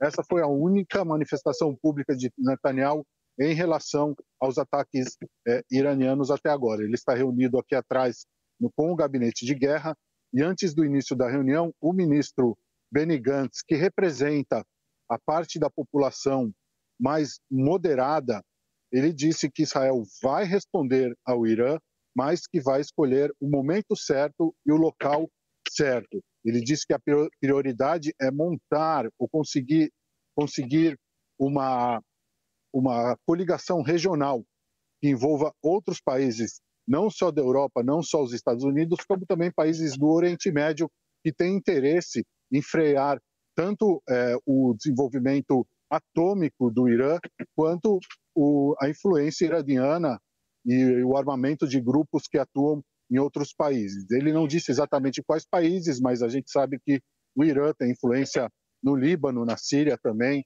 e também é, no Iêmen e em outros países da região, como o Iraque a outros ministros que representam a parte de direita, a visão direitista e até de extrema direita de Israel, são os ministros que pedem uma ação imediata.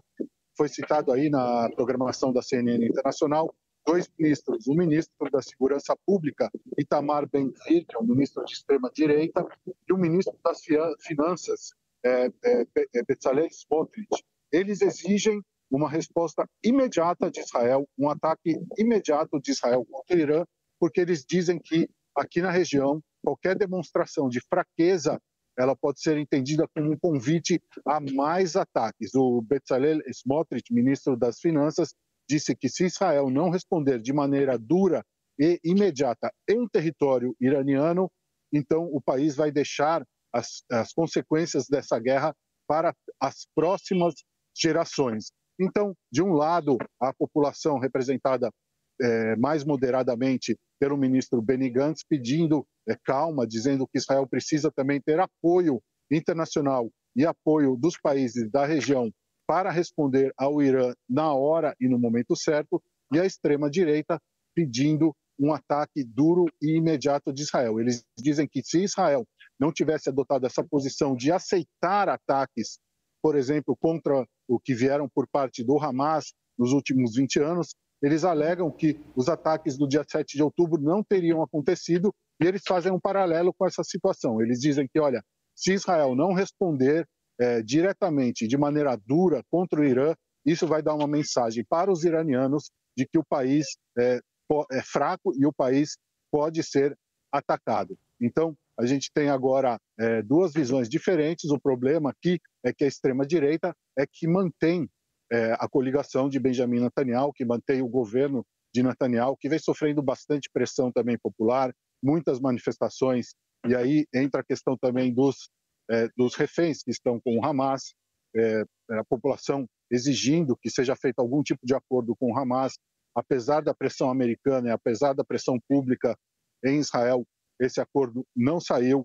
Já são seis meses em que mais de 130 israelenses continuam é, nas mãos do Hamas. Então, a gente tem Benjamin Netanyahu numa posição de que ele precisa tomar uma atitude, responder é, ou contra-atacar ou responder a esses ataques do Hamas. Ao mesmo tempo, ele sofre também pressão de Joe Biden. Joe Biden disse para Netanyahu que Israel é, deve aceitar essa defesa de ter evitado é, um desastre maior com esse ataque mariano, é, iraniano, deve ser aceito por Israel como uma vitória e que o país deve segurar agora e esperar e manter a calma e não reagir de maneira imediata.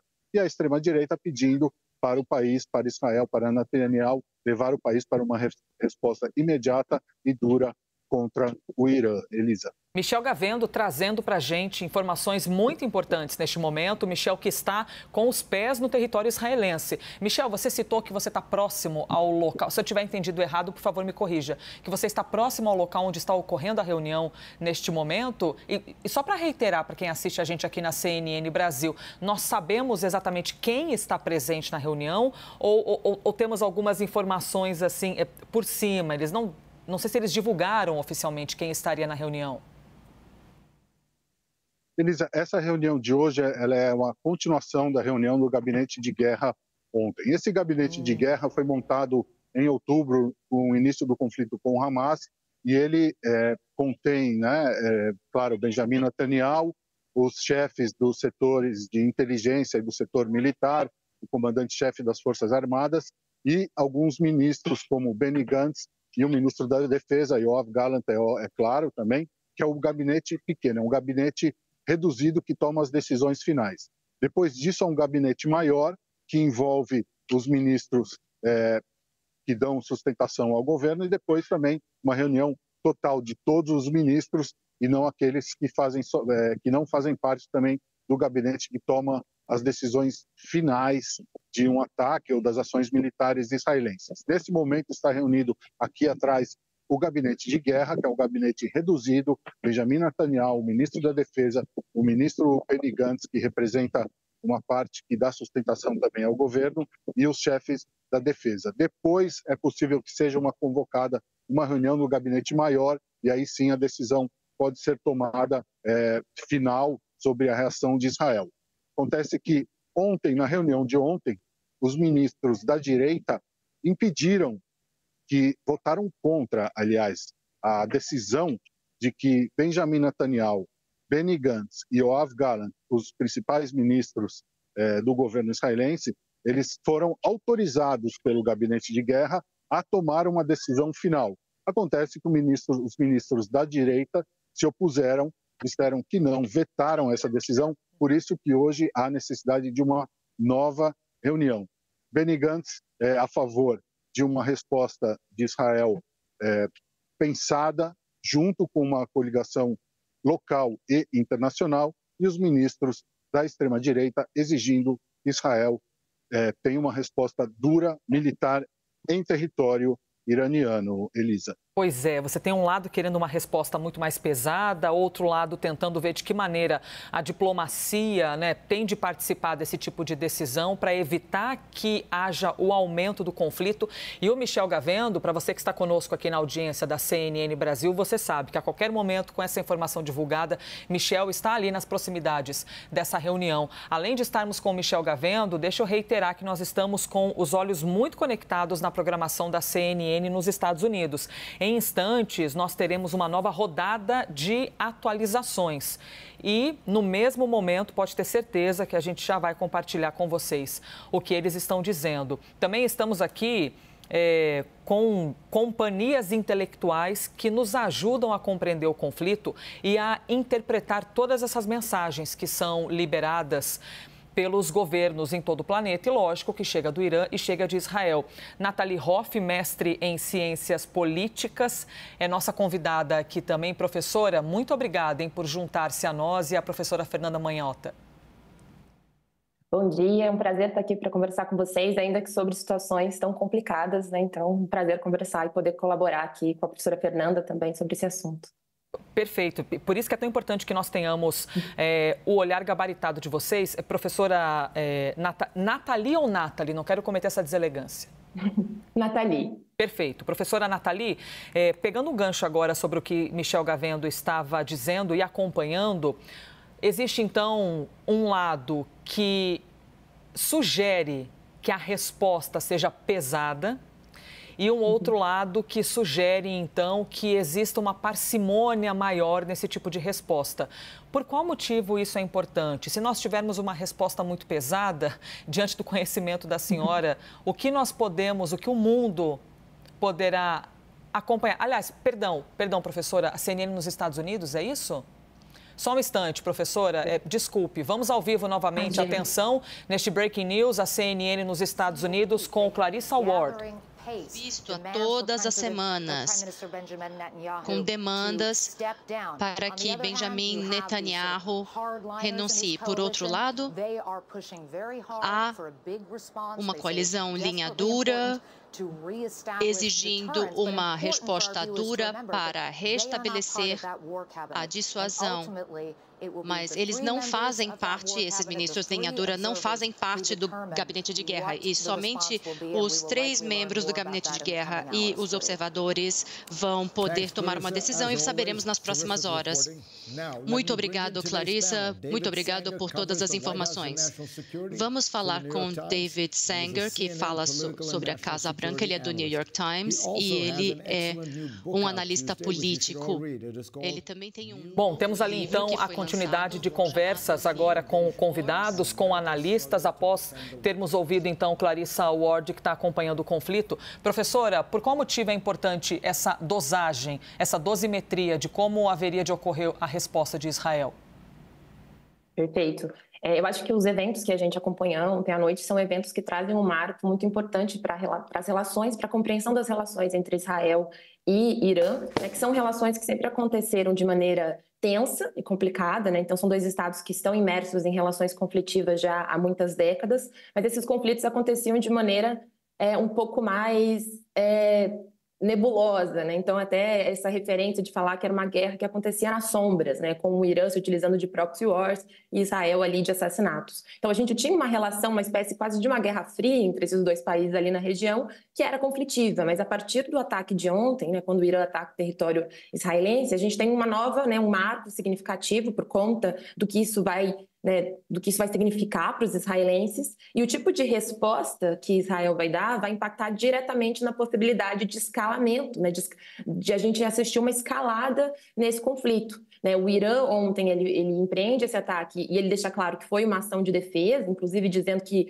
para ele estaria concluído né, no comunicado que foi soltado, mas agora, para a gente saber como isso vai se desenvolver, a gente, fica, a gente depende de acompanhar a decisão que Israel vai tomar. Né? E se essa decisão for de, um, é, de empreender um ataque mais agressivo, né, isso pode aumentar o risco de escalada das tensões. Né? O status quo das relações entre Israel e, e Irã, na minha opinião, já se alteraram. A gente com certeza vai assistir é, tensões mais elevadas e talvez um recurso à violência com mais frequência daqui para frente. A questão é né, como a decisão de Israel, a resposta de Israel ao ataque de ontem, como isso pode gerar, até mesmo no curto prazo, chances de uma escalada regional do conflito, inclusive podendo ou não arrastar as potências ocidentais para essa, né, para essa situação. Eu acredito que a expectativa dos atores nesse momento é de tentar conter o máximo possível, e a gente vê que a gente tem uma corrente dentro de Israel que entende o risco dessa escalada e que uma guerra de longo prazo com o Irã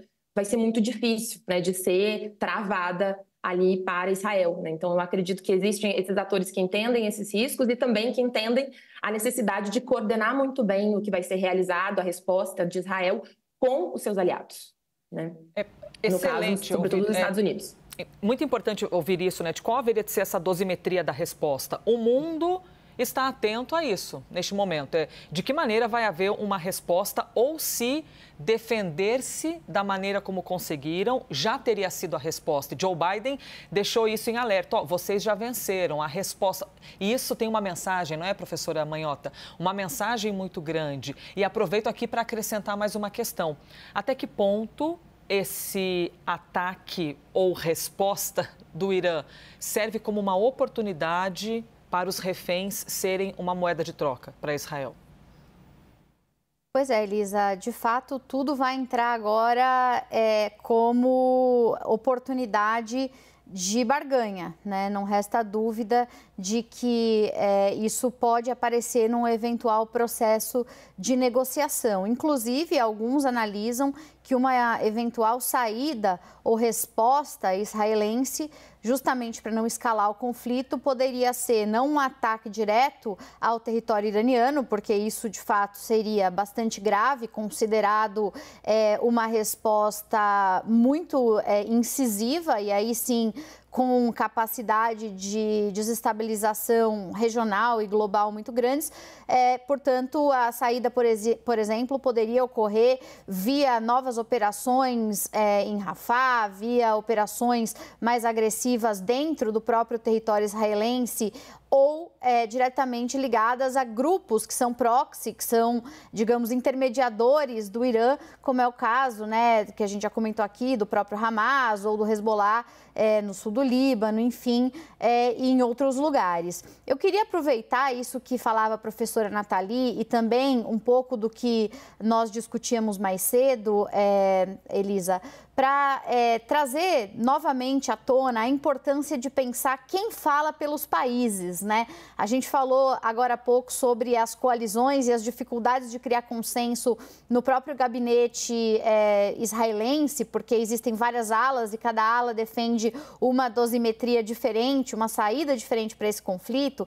E me parece que também do ponto de vista das potências, isso é uma realidade. No final do dia, ninguém vai se manifestar e declarar negara uma decisão definitiva sem consultar aqueles de quem depende. Né? E a gente está falando aí de países como Estados Unidos, Rússia, China, que estão sendo levados a reboque nessa confusão.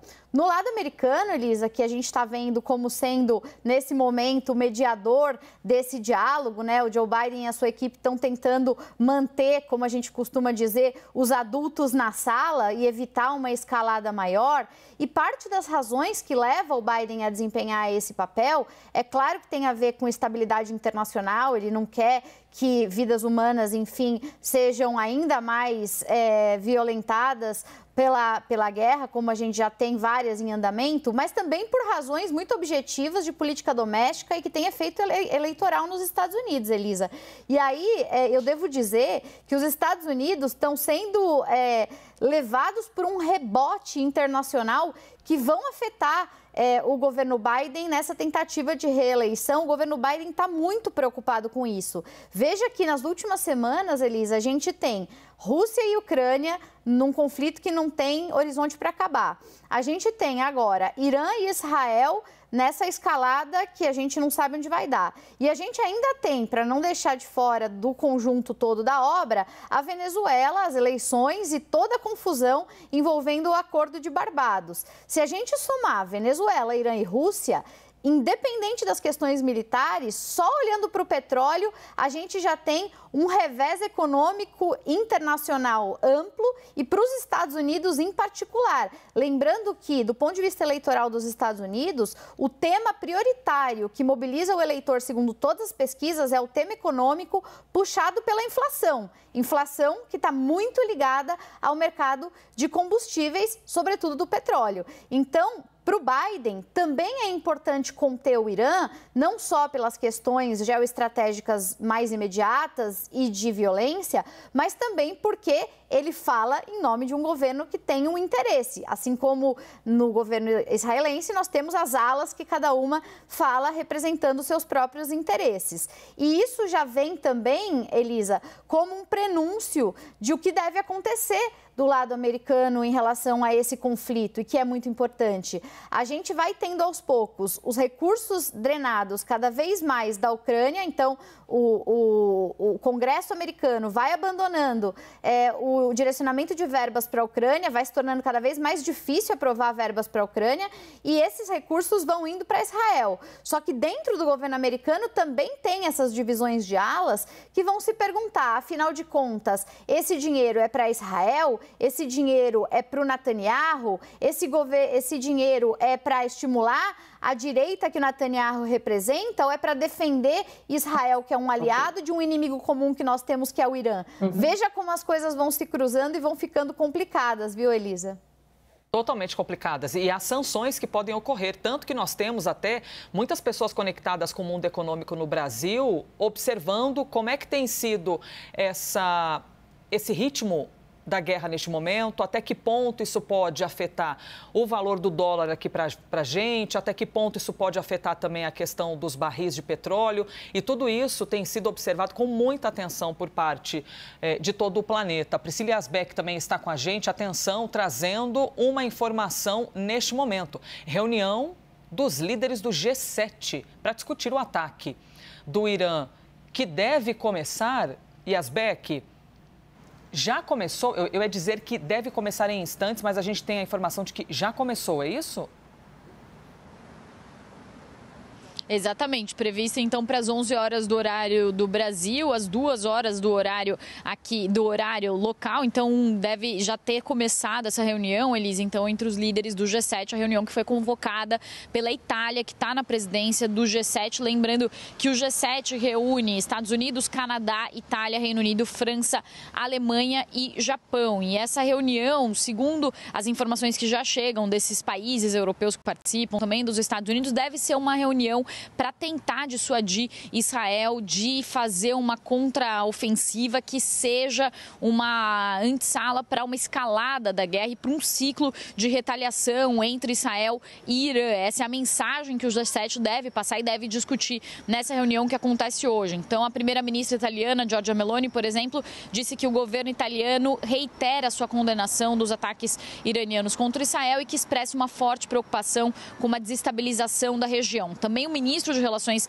Exteriores italiano disse que espera que o governo israelense mostre uma moderação em sua resposta. Também disse que espera que o bom senso prevaleça, já que Israel já mostrou uma vitória militar, como vocês estavam discutindo aí no estúdio. Então, a expectativa é, desses líderes é que Israel é, mostre que, como conseguiu interceptar a maioria desses mísseis e drones, é, não precisa fazer um contra-ataque mais amplo. Também o presidente americano governo Joe Biden tinha falado mais cedo que os Estados Unidos não vão contribuir com uma ofensiva de Israel ao Irã, uma eventual ofensiva. Então há uma distinção clara entre a defesa que os Estados Unidos ajudam Israel a fazer e o que poderia ser uma ofensiva. Então os Estados Unidos deixam claro que vão apoiar Israel na sua defesa, mas não querem uma nova ofensiva para não haver uma escalada das tensões na região. A mesma posição também é mostrada é, pelo Reino Unido, também pela Alemanha, que se manifestam dessa forma, tentando evitar uma escalada da tensão na região. Também é, há informações sobre o apoio tanto das forças francesas quanto das forças britânicas na interceptação desses mísseis e drones é, que atingiram, que tentaram atingir Israel é, ao longo dessa da madrugada desse sábado, no início da noite do sábado e madrugada é, desse domingo. Então, informações de fontes francesas que conversaram com a CNN dizem que é, os franceses estão em alerta máximo desde que as tensões começaram a aumentar na semana passada e a França tem tropas no Líbano, no Iraque, no Kuwait, no Catar e também nos Emirados Árabes Unidos e também tem uma presença naval no Golfo Pérsico. Então, também é, relatos de fontes francesas que dizem que é, a França pode apoiar também Israel nessa defesa de eventuais novos ataques do Irã. Também o porta-voz das Forças de Defesa israelense, Daniel Hagari, disse que os Estados Unidos, o Reino Unido e a França agiram durante os ataques iranianos a Israel para fazer essas interceptações. O Reino Unido falou sobre isso abertamente. A, a França ainda não teve nenhuma fonte oficialmente, nenhum porta-voz oficialmente que confirmou que ajudou a fazer essas interceptações, mas então o governo israelense falando é, que isso aconteceu. Também queria trazer uma análise, Elisa, mais histórica sobre o que está acontecendo. Então, é, essa tensão que acontece entre Israel e Irã já é uma tensão que vem de décadas, de um antagonismo que vem de décadas, e agora essa resposta de Israel vai definir o que, que vai acontecer nos próximos passos. O que se dizia recentemente, o que se disse recentemente, é que Israel e Irã viviam uma guerra por procuração, uma guerra fria ou uma guerra nas sombras. E a análise que se faz agora é que essa guerra saiu das sombras com esse primeiro ataque que acontece diretamente do Irã a Israel. Então, um ataque mais direto e não um ataque às sombras ou um ataque por procuração pode escalar muito esse conflito. Porque se fala em ataque por procuração, em uma guerra nas sombras ou uma guerra fria, porque os ataques que eram trocados entre Israel e Irã até o momento eram ataques que Israel fazia pontualmente alguns alvos iranianos ou grupos milicianos que são apoiados pelo Irã, ataques ao Hezbollah, por exemplo, que é um grupo apoiado pelo Irã no Líbano, ou então o Irã também fazia ataques por procuração, como se diz aí nas relações internacionais, que seriam ataques que são feitos por meio de grupos que são apoiados pelo Irã, como é o próprio caso do Hamas e também do Hezbollah. Ainda que o Irã tenha negado participação nos ataques de 7 de outubro e a própria inteligência americana tenha dito que o Irã não sabia sobre esse ataque que aconteceu feito pelo Hamas no dia 7 de outubro, que desencadeou a guerra entre Israel e Hamas, o que se sabe é que, de fato, o Irã financia esses grupos radicais. O Irã é uma república islâmica Islâmica, que passou pela Revolução Islâmica em 79. Isso fez com que a monarquia fosse deposta no país e um governo que é regido pelos preceitos do Alcorão se instaurasse dentro do Irã a partir de 79. E, e depois, desde então, desde 79, se iniciou uma disputa de poder no Oriente Médio entre Irã e Israel. E essa disputa entre Irã e Israel também pode ser uma disputa entendida entre os judeus e os islâmicos. E desde então essas hostilidades hostilidades já existem. Então, o que, para finalizar, Elisa, o, a análise que se faz é que é uma tensão que já existe há décadas, mas que acontecia nas sombras, acontecia nessa guerra por procuração e que agora essa guerra ela é trazida para a luz. Essa guerra que estava nas sombras é trazida para a luz. A ver quais são os próximos passos. Se essa guerra ela vai permanecer mais às sombras ou se ela vai vir para a luz, isso pode uhum. iniciar então esse ciclo de retaliação com grandes respostas de ambas as partes. Eu volto com você. Priscila Asbeck trazendo então o que ocorre agora, líderes do G7 discutindo esse ataque do Irã, de que maneira isso deve ocorrer daqui para frente e, no mesmo instante que ocorre essa reunião dos líderes do G7, os ministros israelenses, atenção, hein, Michel Gavendo acabou de contar isso para gente, eles estão reunidos neste momento em Israel, avaliando como deve ser a resposta. Se vão seguir um pouco mais a linha até dos Estados Unidos, Joe Biden.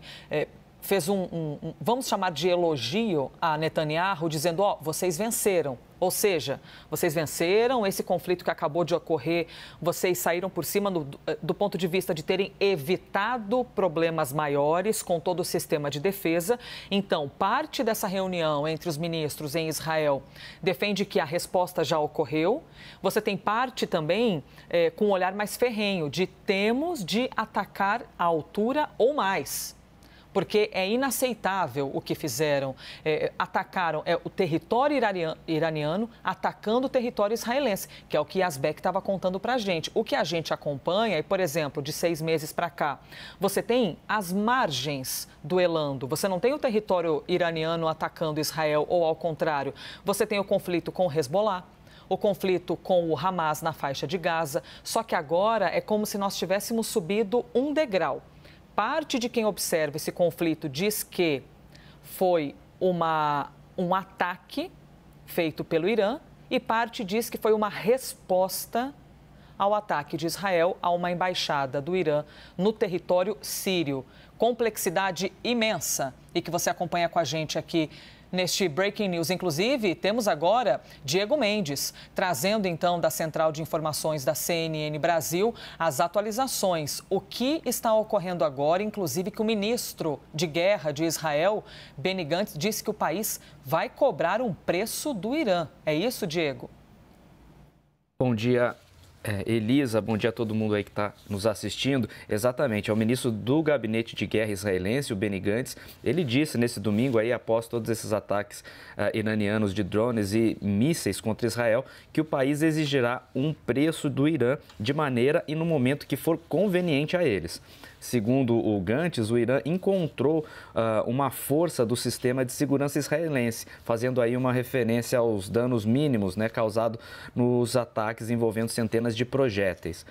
É, o Gantz disse também que o ataque mostrou que o mundo estava claramente unido a Israel face ao perigo, mas ressaltou que este evento ainda não acabou. Ele citou aí também a necessidade de construir uma coligação regional e extrair um preço, de, é, um preço do Irã de forma e no momento que convém a Israel. Ele deixou isso bem claro, Elisa. Gantz também disse que Israel é, ainda precisa trazer para casa os reféns e proteger ah, as fronteiras do sul e do norte para que essas pessoas que evacuaram suas casas perto dessas fronteiras possam voltar para suas casas. Elisa. Diego Mendes trazendo para a gente então essas atualizações. Eu aproveito até para fazer um gancho com a professora Nathalie Hoff, mestre em ciências políticas e bastante conhecedora dessas questões internacionais, sobre a dosimetria dessa resposta. Professora, a gente tem a reunião dos líderes do G7 e também a reunião no território israelense. Até que ponto que o G7 discutir pode influenciar, pode ser visto com credibilidade? Ou seja, qual a força de sugestão o G7 tem em cima da decisão de Israel, professora? Eu acredito que isso que vai ser discutido no âmbito do G7 e principalmente aquilo que os Estados Unidos vai sugerir, né, como é, o principal ou o caminho mais apoiado né, por, por esses aliados que são tão importantes, são tão importantes para Israel que essas decisões elas podem e devem gerar impactos significativos em como Israel vai se portar. Né? Porque quando a gente pensa nessa decisão sobre como Israel vai proceder, né, como ele vai responder ao ataque iraniano, é, a gente tem aqui do, dois caminhos, como a gente estava conversando antes, né? Um grupo que apoia uma resposta mais dura, é, mais agressiva, e outro grupo que pede um pouco mais de parcimônia, considerando os riscos, né? Tentando calcular ali os riscos que isso pode trazer para o país. É, no caso desse grupo que apoia uma resposta mais agressiva, a gente percebe que é, essa busca por responder de maneira rápida também está muito vinculada com tentar capitalizar um pouco em cima do ataque iraniano tentando trazer, angariar ali mais unidade interna, né, já que o governo tem sido muito pressionado é, por conta do conflito, em, no, do conflito em Gaza e da questão dos reféns que ainda não foram resgatados.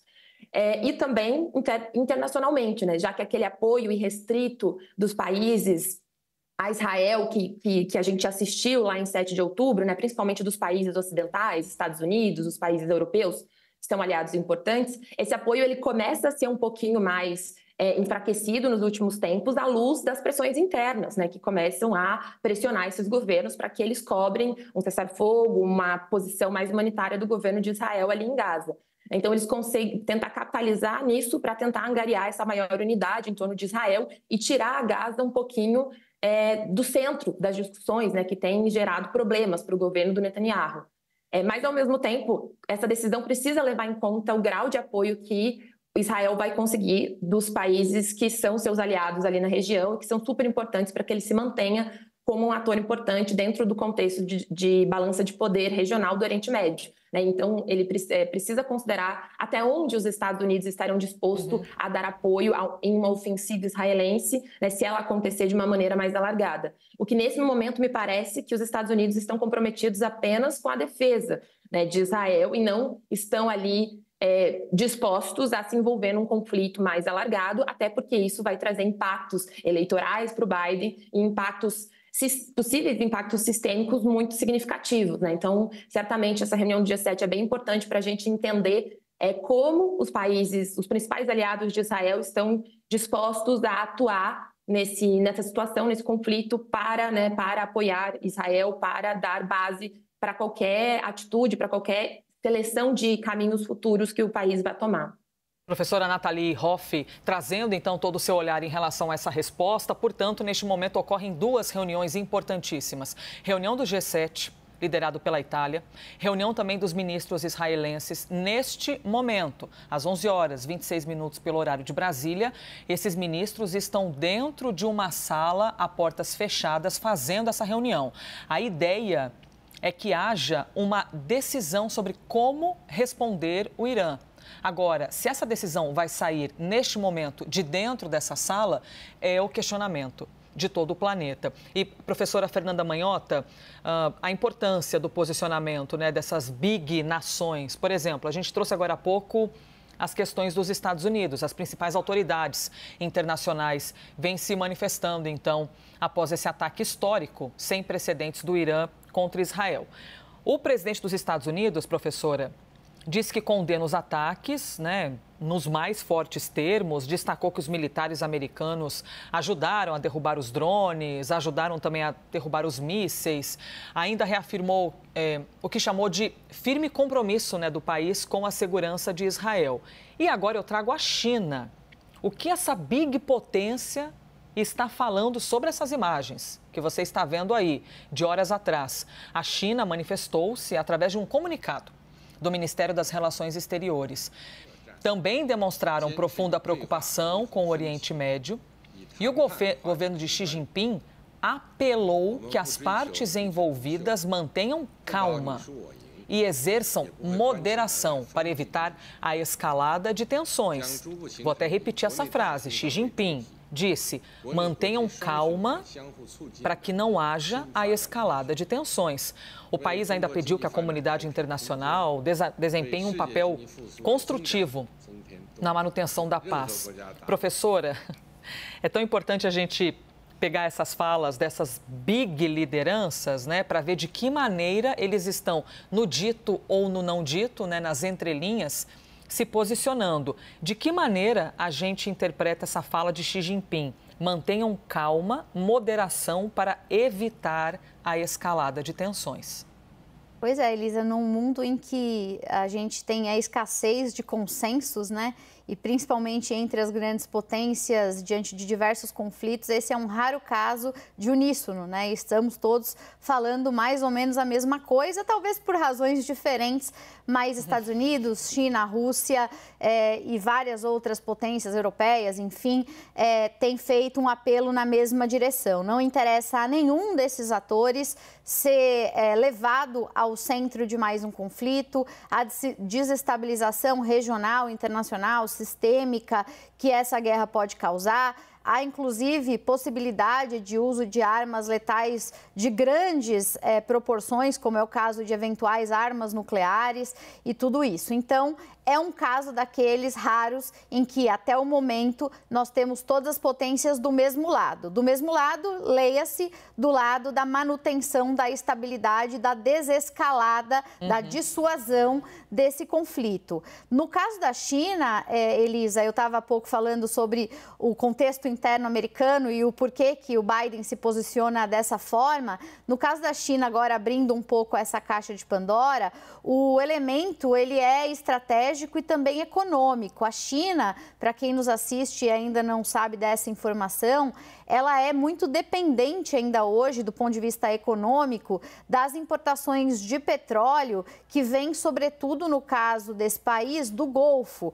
Então, uma guerra que abarque países né, que estão nesse, nesse território, nessa parte do mundo, vai criar um problema de abastecimento bastante severo para a China. Né? Então, a China hoje ela é, evita por, por entre outras razões, é, um conflito maior nessa região a começar pela questão do petróleo. Mas não é o único tema, Elisa. Além da, da questão é, energética, nós temos também uma questão geopolítica que tem a ver com a implementação do principal plano externo da China, do governo Xi Jinping, que é a Belt and Road Initiative, né, um programa de infraestrutura que é, compreende vários continentes no mundo e que passa por essa parte do planeta também. Então, o Xi Jinping não quer ter problemas com o seu grande projeto é, de ampliação do poder chinês mundo afora e, inclusive, já manifestou no passado interesse em ressignificar a imagem que a China tem em algumas regiões, incluindo no Oriente Médio,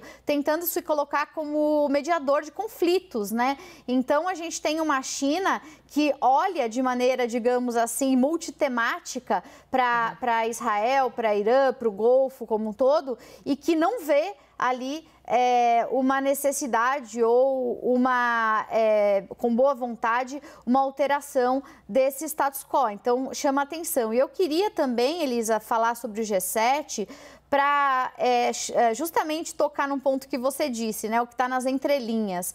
Quando o Biden fala do G7, a maneira como ele se dirigiu me chamou um pouco a atenção. Ele disse que o G7 daria uma resposta diplomática unida ao Irã. E isso faz diferença. É claro que se espera das potências ocidentais que haja uma condenação é, do ato violento, uhum. enfim, que ocorreu do Irã contra Israel. Isso passa pelo óbvio, né? Praticamente todos esses países do G7, de maneira individual, já condenaram é, esse ataque. Então, não surpreenderia que, do ponto de vista coletivo de grupo, isso também aparecesse num eventual comunicado. Mas chama atenção se esse for o tom do comunicado, porque uh, o comunicado ele pode assumir o tom de vamos desescalar, entender que isso está resolvido e tentar, pela via diplomática, construir consensos para que a estabilidade reine, todos possam se favorecer dessa estabilidade, isso é um caminho, ou ele pode ser um, um mecanismo, um meio de apoio a Israel e de condenação ao Irã como estando no centro desse debate. Se o documento do G7 vier em linha com essa narrativa de vamos unidos é, manifestar o nosso apoio a Israel e aproveitar a oportunidade para mais uma vez condenar o Irã, se essa for a mensagem central, ao invés de uma mensagem é, em busca de uma estabilidade, isso pode é, aquecer ânimos, isso pode aquecer ânimos de, do próprio Irã, isso pode é, reposicionar o papel de China e Rússia no conflito. Então, é aquilo. O G7 pode ser um encontro pro forma que só diz mais do mesmo que a gente já sabe, ou ele pode, a depender da escala de prioridades e do tom que adotar, também levar outros países a se posicionar de um jeito diferente. Então, me chamou a atenção. Eu, eu particularmente, estava assim um pouco menos é, preocupada com o G7, estava mais preocupada com a reunião lá em Israel. Agora, devo dizer que me acendeu uma luz aqui. Eu acho que a gente tem que olhar para esse G7 com um certo cuidado, viu, Elisa? Pois é, é desse, é, é desse é, modo, perdão, que o mundo fica nesse momento, né? À espera das respostas. Muitos questionamentos, muitas interpretações, inclusive, sobre essa ofensiva do Irã, que há quem diga que poderia ter sido muito mais pesada. Então, que essa ofensiva com drones, sim, também utilizando mísseis, mas majoritariamente com drones, que ela teve um termômetro ali pontual de o Irã responder: ó, oh, estamos aqui atentos, não mexam conosco. Então, o mundo também interpreta dessa maneira, ou parte do planeta interpreta dessa maneira. E tem uma resposta é, que está, inclusive, bom, a gente está aqui, pessoal, no estúdio, redação, site da CNN, acompanhando o que ocorre neste momento na CNN nos Estados Unidos e compartilhando com vocês tudo o que chega. Uma das matérias, inclusive, só reiterando que a gente deu agora há pouco, que qualquer nova agressão, presidente do Irã, o que dissera o presidente do Irã. Qualquer nova agressão terá resposta mais pesada. Essa é a afirmação que a liderança traz e que o exército do Irã diz que a operação foi concluída, ou seja, isso já nos traz, né, professoras, a informação de que não deve haver uma continuidade, assim como quando a gente vê um terremoto que fica esperando os efeitos secundários e tudo aquilo que vem depois, que a gente teve esse terremoto de um efeito específico, pontual, e que a operação, segundo os iranianos, foi concluída. E alertam não só Israel contra a retaliação, mas também os Estados Unidos. É, professora Nathalie, lhe perguntando também sobre isso, sobre essa dosimetria da resposta e até que ponto a gente pode ver uma caminhada de vamos utilizar então como moeda de troca? Perguntei isso à professora Fernanda Manhota, agora reitero para ouvir também, que é importante a gente ouvir diferentes opiniões.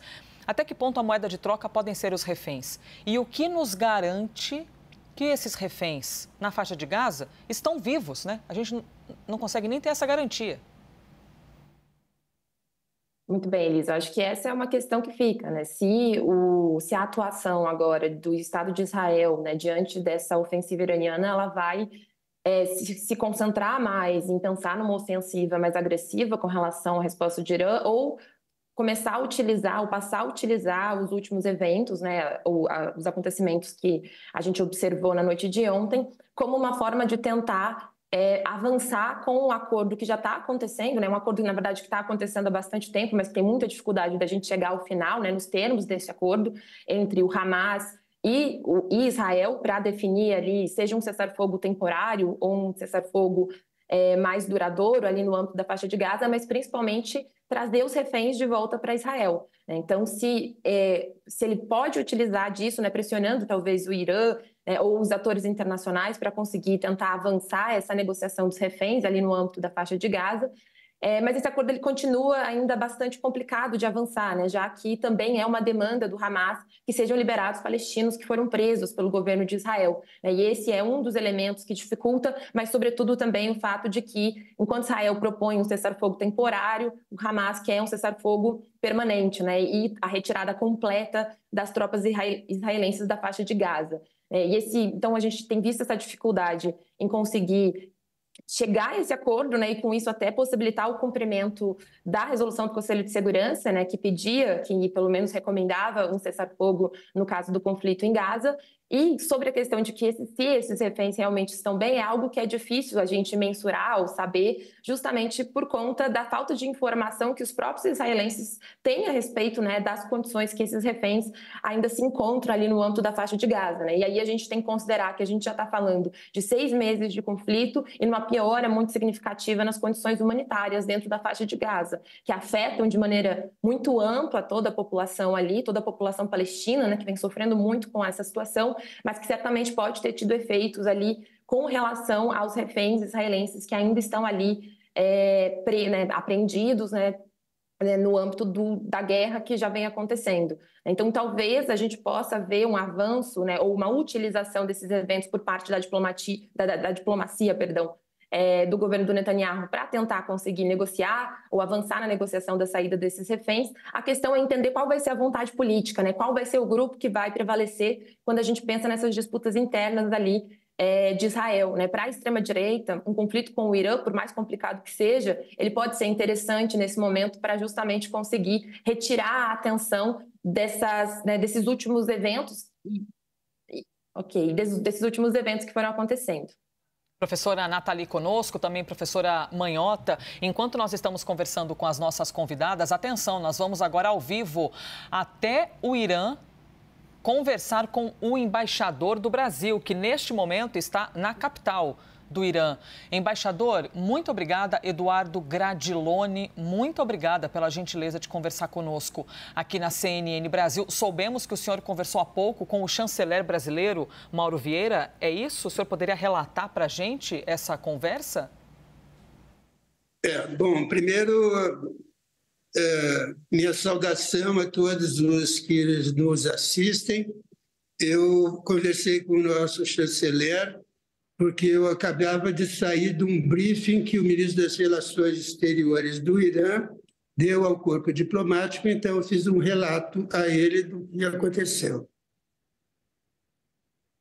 E o que uh, esse relato oficialmente, eu, eu, sei que são questões diplomáticas, até de segurança de Estado e tudo mais, mas o, o que exatamente teria sido ou ocorrido nesse briefing, embaixador? Olha, eu acho que o ponto principal do, do briefing foi que o chanceler iraniano, bom, primeiro, claro, fez uma recapitulação de tudo que eles consideram infrações de Israel direito internacional, por violação da integridade e da imunidade das embaixadas, dos consulados, etc. Mas acho que o que o, o, o o chanceler Abdullahian, é o, o ministro das Relações Exteriores, mais quis enfatizar é que o Irã lançou um ataque contra Israel muito limitado, só para fins de mostrar que estava exercendo o direito de autodefesa, que não teve maiores consequências em termos de prejuízos, etc mas que deixou um ponto no sentido de que tinha que dar uma resposta a Israel. Que, no ponto de vista deles, eles consideravam, então, que o assunto estaria encerrado e que seria um pouco obrigação dos Estados Unidos convencer Israel disso e simplesmente acabarem com as hostilidades. Eu acho que essa foi a principal mensagem que nós ouvimos do chanceler iraniano. E informação, assim, muito, muito relevante. Atenção, então, você que está conosco aqui na CNN Brasil, nós estamos conversando com o embaixador brasileiro que neste momento está no Irã e nos conta que essa movimentação, pelo menos o que foi informado pelo corpo diplomático do Irã, é que o ataque foi então limitado e para mostrar autodefesa. Ou seja, embaixador, que a partir de agora eles contam com a relação diplomática de Israel e Estados Unidos para conseguir baixar um pouco a temperatura do momento. A gente pode interpretar dessa maneira. Olha, eu acho que sim, porque foi Olha, foi uma, desde que eu estou aqui, foi a reunião onde mais diplomatas, mais embaixadores, mais representantes de organizações internacionais estiveram presentes. Acho que nunca vi tantos jornalistas uh, reportando tudo o que aconteceu. E o, e o tom foi no sentido de que, bom, uh, nós tínhamos que reagir de alguma forma, porque o direito internacional tinha sido violado, tínhamos que dar uma sinalização, mas eu senti, e eu acho que todos os meus colegas sentiram que houve uma tentativa de encerrar o assunto, tanto que eles estão dando como encerrado da parte deles, e a única dúvida é qual vai ser a reação de Israel em relação a isso. Então, é, um, é feito um apelo aos Estados Unidos para que exerçam o poder que eles têm junto a Israel para dissipar essa tensão. Mencionou a reunião do Conselho de Segurança que a Rússia havia pedido há algum tempo e que foi é, frustrada né, por reação em contrário de alguns países, mas que vai ter uma outra reunião do Conselho de Segurança que eles esperavam que essas reuniões chegassem a um ponto de e considerar que o, o pior das tensões já terminou. Uh, outros colegas meus também assinalaram como Israel saiu fortalecido por ter conseguido conter todos os, os ataques, né? os, uhum. os drones não conseguiram penetrar no território israelense, os mísseis que uh, atravessaram acabaram uh, não acertando ninguém, praticamente foram uh, aterrissaram nos, no deserto. Então, de certa forma, segundo a opinião dos meus colegas embaixadores e representantes de outros órgãos internacionais, e segundo uma certa percepção, é que eh, também Israel saiu fortalecido daí com uma defesa bem sucedida, né? E o, Israel, e, e, o Irã eh, deu, agiu como achava que devia, que ele não, não poderia deixar de ter alguma reação com relação a isso. Então, há uma percepção de que há um clima para uh, eliminação das tensões. A única dúvida é a reação de Israel. E essa dúvida é a dúvida que faz com que eu, por exemplo, aqui no, no Irã, eu não possa dar uma resposta definitiva aos brasileiros que estão preocupados, querendo saber se eles tomam alguma providência de evacuar o, o, o, o país, de modo que há uma grande expectativa quanto ao que Israel vai fazer dentro dessas próximas 24 horas. Breaking news aqui na CNN Brasil, 11 horas 46 minutos. Basília Rodrigues também está conosco. Basília, muito obrigada por ter viabilizado essa entrevista. É muito relevante que nós tenhamos aqui a palavra do embaixador brasileiro no Irã. Por favor, Basília.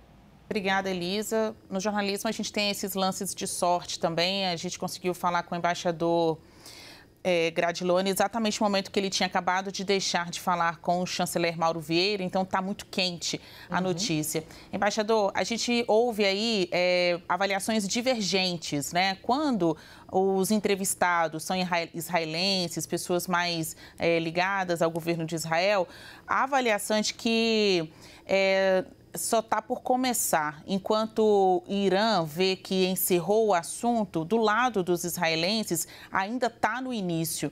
Quando o senhor acha que a gente terá, então, uma resposta para isso, para este desfecho ou continuidade do conflito? É ainda hoje? Olha, eu acho que é até difícil transmitir para vocês, para o público de vocês, o grau de complexidade da situação e quantas nuances você tem aqui, porque essa rivalidade Israel-Irã uh, é uma coisa muito profunda, é uma coisa que atinge todos, todas as camadas aí da, da população. Então, é, é muito difícil que você, você tenha um consenso com relação ao que vai acontecer. Por exemplo, Ninguém até ontem imaginava que o Irã fosse reagir diretamente do território iraniano contra Israel. Todas as previsões eram, eram de que uh, seriam utilizados os proxies, né? o Hamas, o Hezbollah, enfim, Houthis, esses grupos que, de certa forma, agem em cooperação com Israel. Mas as previsões foram frustradas e o Irã desencadeou um ataque, claro, limitado, bem aquém do que, é, quem sabe, pudesse ter lançado. E segundo a explicação dada pelo chanceler durante o briefing, foi para deixar as coisas dentro do mínimo de reação que, Israel, que, que o Irã tinha que ter em relação ao comportamento do do, de, de Israel. Claro, se você comparar o, o, o estrago que foi a, a, ação israelense de ter matado eh, vários iranianos, inclusive o, o, militar de mais alta importância aqui no Irã, no, no, no Irã, e aí você com, eh, contrastar com o que houve hoje, e realmente acho que é, há, um, há um ponto aí. O, é, houve, houve uma reação, quer dizer, um pouco salvou a face né, do Irã. Israel também deu demonstração de poder de, de, de conter esses ataques. Então, há um, há um certo otimismo de muitos mas é claro que se você for perguntar para os israelenses mais radicais, eles não vão ficar contentes com isso, vão achar que é preciso eh, alguma coisa.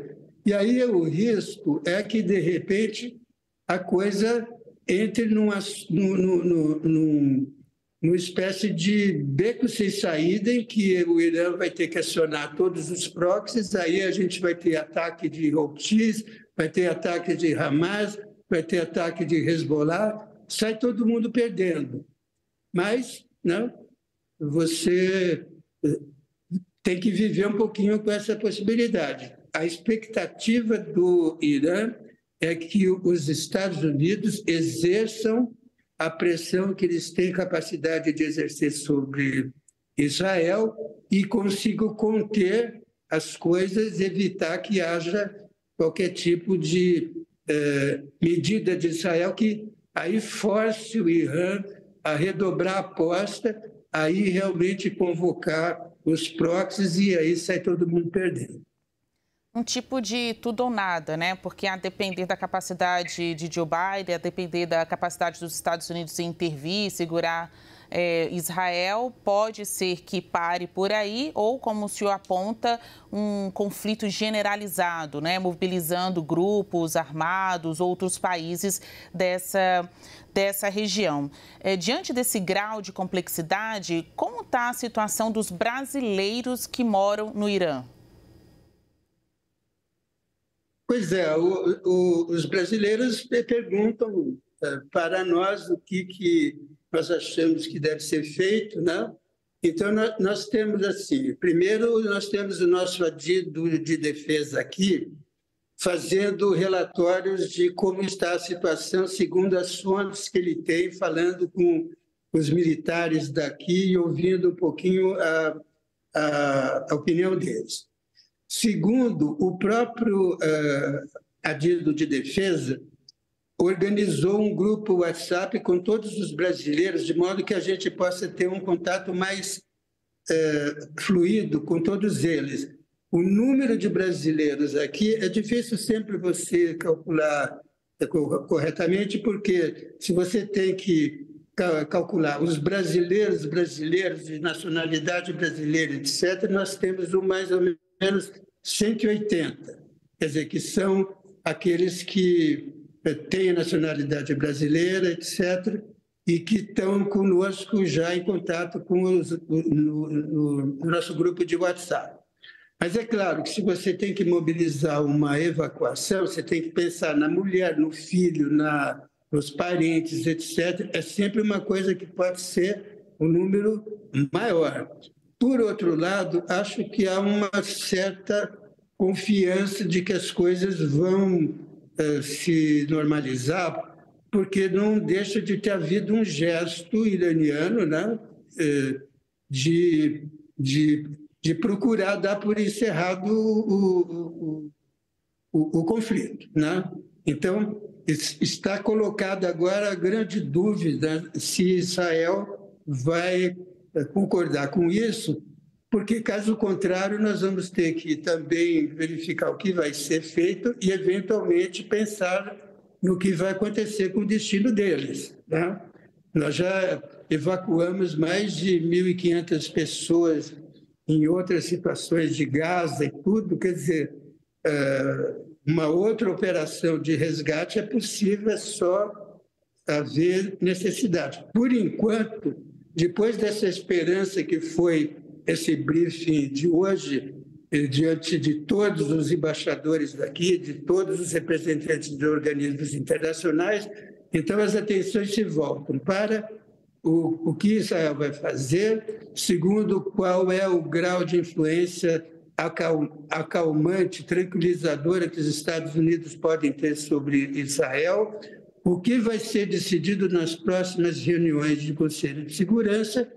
E eu sei que em alguns dias também vai ter outra reunião do Conselho de Segurança, eventualmente para acertar a, a, a, a, membership, né? a filiação da Palestina como membro das Nações Unidas.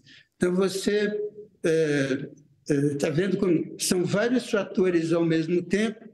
Eu acho que se houver moderação de todos e houver um pouco de boa vontade de todos, de repente as coisas podem se acalmar e vamos todos sair ganhando, tanto do lado israelense quanto do lado iraniano.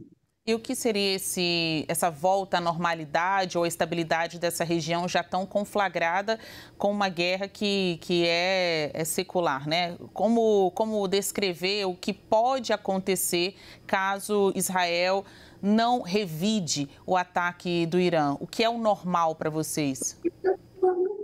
Olha, sinceramente, eu acho que se Israel se eh, mantiver eh, não, não, não retalhar, a probabilidade das coisas irem progressivamente voltando à tranquilidade é muito grande, porque o Hezbollah está evitando fazer qualquer coisa.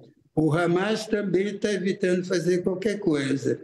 Se o Irã, que tem também influência sobre os Houthis, também puder ter um, um, uma influência apaziguadora, eu acho que a, as probabilidades de pacificação são bastante grandes. Né? Não interessa a ninguém essa escalada do conflito. Isso a gente está falando do conflito agora, sem considerar outros atores, sem considerar a Rússia, né? sem considerar a China, sem considerar os grupos extremistas que estão fora do controle de qualquer outro país. Né? A gente não pode imaginar que seja possível controlar grupos rebeldes que têm suas lógicas próprias e, às vezes, né, saem completamente do controle de, de todo mundo.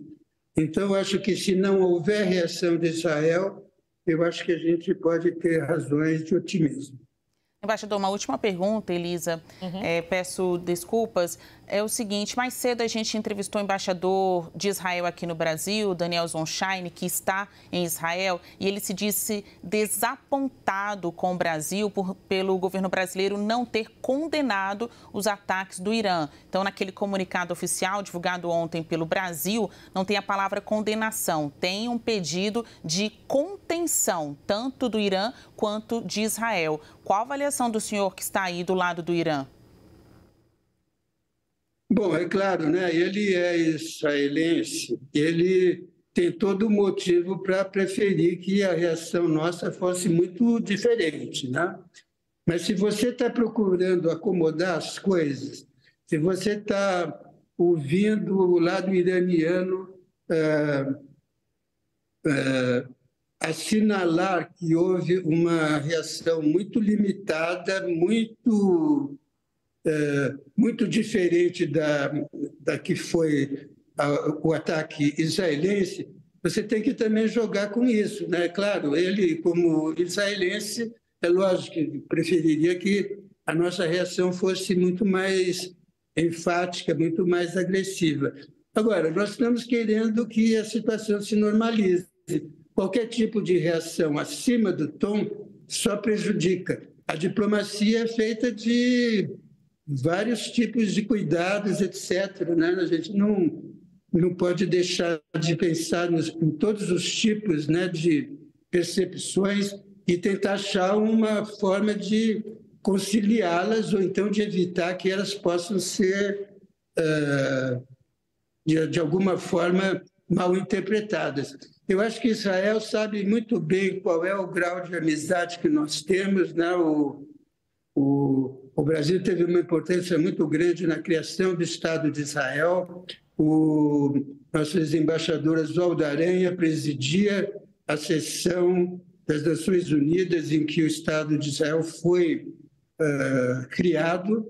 Ele, inclusive, não sei se vocês sabem, ele anotava no papelzinho os votos favoráveis a Israel e esse papelzinho virou como que a certidão de, de, de nascimento do Estado de Israel. Porque quando chegou o número suficiente para aprovação, Então, ele guardou aquilo e aquilo ficou como uma lembrança que está em exposição. Então, nós temos, uh, graças a Deus, o, o, o, Brasil é muito amigo dos israelenses, nós temos uma presença israelense no Brasil enorme, de famílias, de milhões de relações, mas temos também com os outros países. Por isso que nós temos até uma obrigação de ser muito moderados, de evitar fazer alguma coisa que nos distancie de, uma, de alguma das partes. E agora mais ainda porque há uma possibilidade de algum tipo de acomodação. Então, o, o, o embaixador eh, Israel tem que também compreender como nós temos que ser equidistantes e, e houve, um, houve não houve a condenação da forma enfática como ele talvez preferisse, mas houve o registro e a nossa preocupação ficou clara com algum tipo de uh, atitude bélica que saia dos cânones da diplomacia. Para nós, o, a solução está na mesa de negociações, não em nenhuma atitude bélica. Muito importante ouvir-te. Muito obrigada, Eduardo Gradilone, embaixador do Brasil, que fala conosco agora ao vivo do Irã e também compartilhando as, os dados diplomáticos que estão sendo expostos para todos os embaixadores. Agradecemos muito pela presença do senhor aqui conosco. Muito obrigada, embaixador. É um prazer. Eu saúdo a todos os que assistem a CNN e faço votos de que os, os meus comentários uh, otimistas uh, se concretizem para a felicidade geral de todos e, e para a tranquilidade dessa região, que é uma região complicada, mas que tem grandes potencialidades e só basta um pouco de diplomacia para que isso, todo o potencial dessa região possa se desenvolver e nós finalmente podemos uh, viver em paz nesse lugar maravilhoso do mundo, ainda mais num país como o Irã, com tanta história e quantos lugares maravilhosos que poderão um dia se transformar, e tenho certeza que com paz se transformariam num dos grandes paraísos do turismo mundial. Muito obrigada, obrigada embaixador. embaixador. Muito obrigada. Basília, Fantástico você ter viabilizado essa entrevista para a gente. Obrigada também, Basília Rodrigues, nossa analista em Brasília. Ó, oh, estamos aqui conectados, meio-dia, dois minutos. Para você que acabou de chegar com a gente aqui na CNN e você que eventualmente também faz parte dessas milhares de pessoas que nos acompanham na televisão, no YouTube, no site da CNN ou também no streaming, nós estamos aqui fazendo um compilado de tudo o que foi informado nos últimos minutos tá? Por enquanto, a gente tem aqui a informação da reunião que continua ocorrendo e até Diego Mendes chega agora da nossa central de informações para a gente poder contar para vocês o que há de mais atualizado. Reunião, portanto, ocorrendo entre os ministros israelenses, com parte querendo uma resposta uh, mais impactante ao Irã e parte tentando conter para que a escalada não aumente das tensões e também a reunião neste momento no G7, liderado pela Itália. Diego Mendes, o que você soube, por favor? Oi, tudo bem, uh, Elisa? Ah, o que eu tenho aqui de novidade também vem lá dos parlamentares americanos, lá dos Estados Unidos. O presidente da Câmara dos Estados Unidos, o Mike Johnson, disse que os legisladores tentarão nessa semana aprovar uma ajuda adicional a Israel mas os detalhes ainda não foram finalizados. Segundo, o, segundo ele, os republicanos da Câmara e o Partido Republicano entendem que a necessidade é, é, em apoiar Israel é muito importante. Ele disse que irão tentar novamente essa semana e que os detalhes desse pacote já estão sendo elaborados, só estão aí analisando umas opções é, e todas essas questões suplementares. O presidente da Câmara reforçou que está satisfeito pelos Estados Unidos demonstrarem aí uma determinação em resposta aos ataques iranianos contra Israel. De acordo com ele, os Estados Unidos mostraram aí essa determinação na noite dos ataques e que os parlamentares americanos estavam preocupados sim em apoiar Israel. Eu te devolvo aí. Atenção, Diego, desculpa interromper-te. Estamos com a CNN nos Estados Unidos. Clarissa Ward fala neste momento, tradução de Nathalie Graue.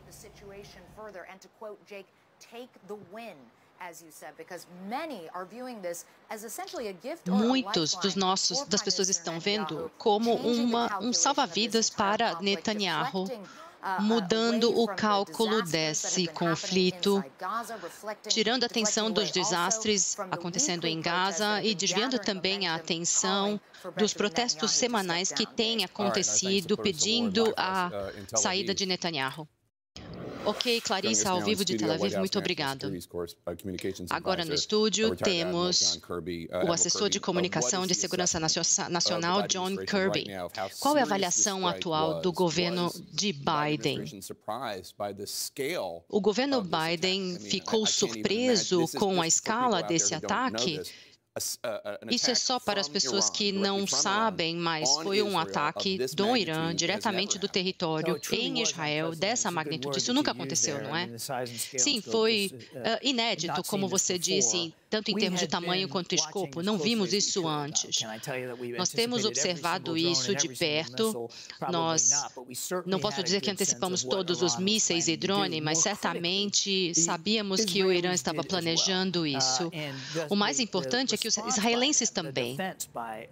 E a resposta, o sistema de defesa de Israel e também dos Estados Unidos e outros parceiros também foi inédita. Foi um sucesso incrível incrível, provando a superioridade militar de Israel e também sua superioridade diplomática, que eles têm aliados na região e que têm aliados no mundo. Vamos falar então sobre isso, porque obviamente os iranianos, e por favor me corrija, mas parece que os iranianos não estavam só atacando Israel, mas estavam violando o espaço aéreo de outros países como a Arábia Saudita e Jordânia. Sim, com certeza, não tinha como fazer isso ontem à noite sem violar o espaço aéreo. O presidente Biden disse repetidas vezes que queria evitar que a guerra em Gaza se tornasse um conflito regional. Isso se tornou uma realidade. Esse é o começo de um conflito, uma guerra regional, não só contra Hamas e o Hezbollah, mas Israel contra o Irã. Não, não acreditamos que deve ser assim. Tudo que o presidente Biden tem feito desde o dia 7 de outubro é tentar desescalar ou limitar as oportunidades para uma guerra regional. E se pensarmos, ontem à noite, o pré-posicionamento do presidente com um, pilotos e aviões extras para ajudar a abater os mísseis e os drones, tudo que ele está fazendo é criar as condições para que isso não aconteça.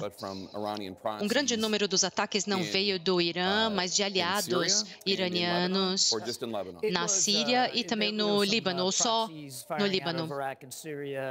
Foram aliados uh, disparando da Síria, do Iraque e também dos Houthis também.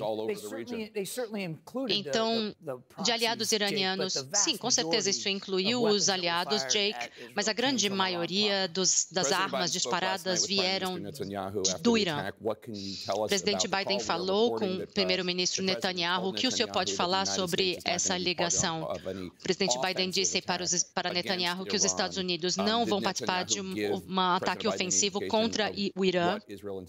Seguimos aqui ao vivo na CNN Brasil, também acompanhando o que é dito na CNN nos Estados Unidos e reiterando o posicionamento do presidente Joe Biden, eh, levando uma mensagem para Israel de vocês venceram. Ou seja, todo esse sistema de defesa foi promissor, mais do que promissor, foi eficaz, conseguiram conter. Então, parte daquilo que foi enviado de drones, de mísseis, e que a gente tem ali eventualmente tem um desencontro de números, né? Mas a gente está trabalhando em aproximadamente 250 é, ferramentas diferentes de ataque, vamos assim dizer. Então, os Estados Unidos compartilhando com Israel de que eles saíram vitoriosos. Nós temos também é, muito da interpretação, é importante que nós tenhamos atenção a isso, de que não foi um ataque de Irã, mas sim uma demonstração de força porque essa dosimetria do ataque, ou seja, a maneira como ocorreu, já é, de bate-pronto, a interpretação foi por parte de quem trabalha e é muito gabaritado nessas interpretações de conflito, e de acordo com os especialistas que nós estamos ouvindo, que essa dosimetria foi calculada, porque poderia ter sido muito mais forte. Então, com essas informações, a gente tem as é, interpretações do conflito. Está chegando agora para mim uma informação, é isso? Ah, tá. Para a gente poder ver aqui, para ter uma melhor dimensão do que foi o início dessa nova fase do conflito no Oriente Médio, a gente vai acompanhar o relato direto de Israel do editor de assuntos internacionais da CNN, o Nick Robertson. Ele estava ao vivo e relatou ter visto um clarão no céu que nunca tinha visto antes e presenciou centenas de mísseis sendo interceptados. I'm hearing barrages of what sound like Iron Dome interceptors, but more in the distance. That perhaps that phase of missiles that was intercepted over Jerusalem close to us, that phase of missiles is moving through now and being intercepted somewhere else. But those explosions that we could see in the air behind me, and I'm hearing multiple, multiple detonations again of what sound like intercepts in the sky. I am not, and I should be very clear about this, I am not hearing the sound of impacts. I am not hearing the sound of things hitting and detonating on the ground. What we're hearing at the moment are the detonations of the outgoing, it sounds like Iron Dome intercepts. We're seeing the intercepts in the sky, and we're hearing the detonations associated with those intercepts in the sky. But I have to stress, it, it's a little hard to pick out the precise dynamic of what's happening. That was another white flash. It, uh, and I'm seeing more. Uh, yeah, more amber orange tracer fire, um, possibly intercept missiles in the sky ab uh, uh, above us and behind us here. So this is ongoing. That was another big detonation and rumble there. This is an ongoing situation. I would say, while we've been talking here, we've witnessed 20 to 30 perhaps, perhaps intercepts. Now, we don't know what's being intercepted in the skies above us. But I hadn't that bright white light that I told you I saw tracing through the sky over here a couple of minutes ago. I haven't seen something like that in the skies here uh, above Israel. It was not something that we've witnessed around Gaza. So I would estimate, and this is an estimate because at the moment there's a level of uncertainty about precisely what we're seeing. But I would estimate that that bright white light that flew slowly across here was uh, potentially an incoming missile of, of, of, some description, and it appeared quite large. It was certainly not um, what I'm familiar with in terms of the, the amber light that you see, the amber glow that you see with the interceptors. Uh, and the interceptor did intercept with that bright white light. But again, stressing it is difficult to assess. I'm not hearing uh, many explosions or they're distant explosions at the moment. So it is hard. It's hard to precisely assess what we've just witnessed here, but it seemed like a phase of missiles, and I'm hearing distant intercepts um, in this direction. It seems like we heard a phase of missiles pass through, and the intercepts are happening um, perhaps elsewhere on the outskirts of Jerusalem right now. Tá então o repórter da CNN fazendo o relato e você acompanhando aqui na CNN CNN Brasil é assim. A todo momento você acompanha as informações que chegam por parte de todas as nossas emissoras. Inclusive, a gente conversa agora com Marcel Berdichevski. É um brasileiro que trabalha como guia turístico em Israel e mora do lado oriental de Jerusalém. É isso, Marcel? Bem-vindo e muito obrigada Exata, pela entrevista. Exatamente. Muito obrigado, muito obrigado pelo convite. Sim, realmente eu moro na parte da Jerusalém Oriental. É, e pela noite de ontem vocês podem perceber grande parte da invasão de foguetes e drones que vieram da parte oriental do mundo, do Irã, cruzando os céus da Jordânia, passaram por cima da minha casa, onde o foco principal era Jerusalém e Tel Aviv. É, da minha varanda acompanhei, filmei é, durante alguns minutos algumas dezenas desses sendo interceptados no ar. Provavelmente alguns deles não foram interceptados e talvez tenham caído em alguma área é, vazia, uma vez que não temos nenhum é, nenhum alerta de que teve feridos ou alguma uhum. explosão, ou seja, o sistema normal do Iron Dome funciona dessa forma. Quando identifica que vai cair em uma área civil, eles é, explodem no ar. Quando acham que vai cair direto no mar ou no deserto, eles nem tocam nisso, deixa explodir sozinho. Perfeito o seu relato. Mas foi realmente Inclusive, uma noite nós... estranha. Pois é, inclusive nós trouxemos, Marcel, o relato de repórteres da CNN nos Estados Unidos de que parte teria caído em áreas desérticas. Ou seja, vai totalmente de encontro com essa informação que você nos traz agora ao vivo. É, como é que foi para vocês no sentido das informações do governo israelense? Eles antecipadamente já sabiam, mandaram alertas? O que eles informaram à população? Bom, a gente já vive seis meses, é, para não dizer 15 anos, de foguetórios vindo da faixa de Gaza ou do Líbano da Hezbollah. Não é nenhuma novidade para a sociedade israelense os sistemas de alertas de defesa. E cada vez mais a gente vem acompanhando isso bem ao vivo. Celulares, telefones, televisões, ao mesmo tempo que sai um foguete, o alerta anuncia, todos recebem o tempo hábil que tem para entrar num abrigo de proteção. Então, as coisas já funcionam aqui de forma bem normal, podemos dizer assim, lamentavelmente, mas é uma normalidade para os vizinhos que a gente tem.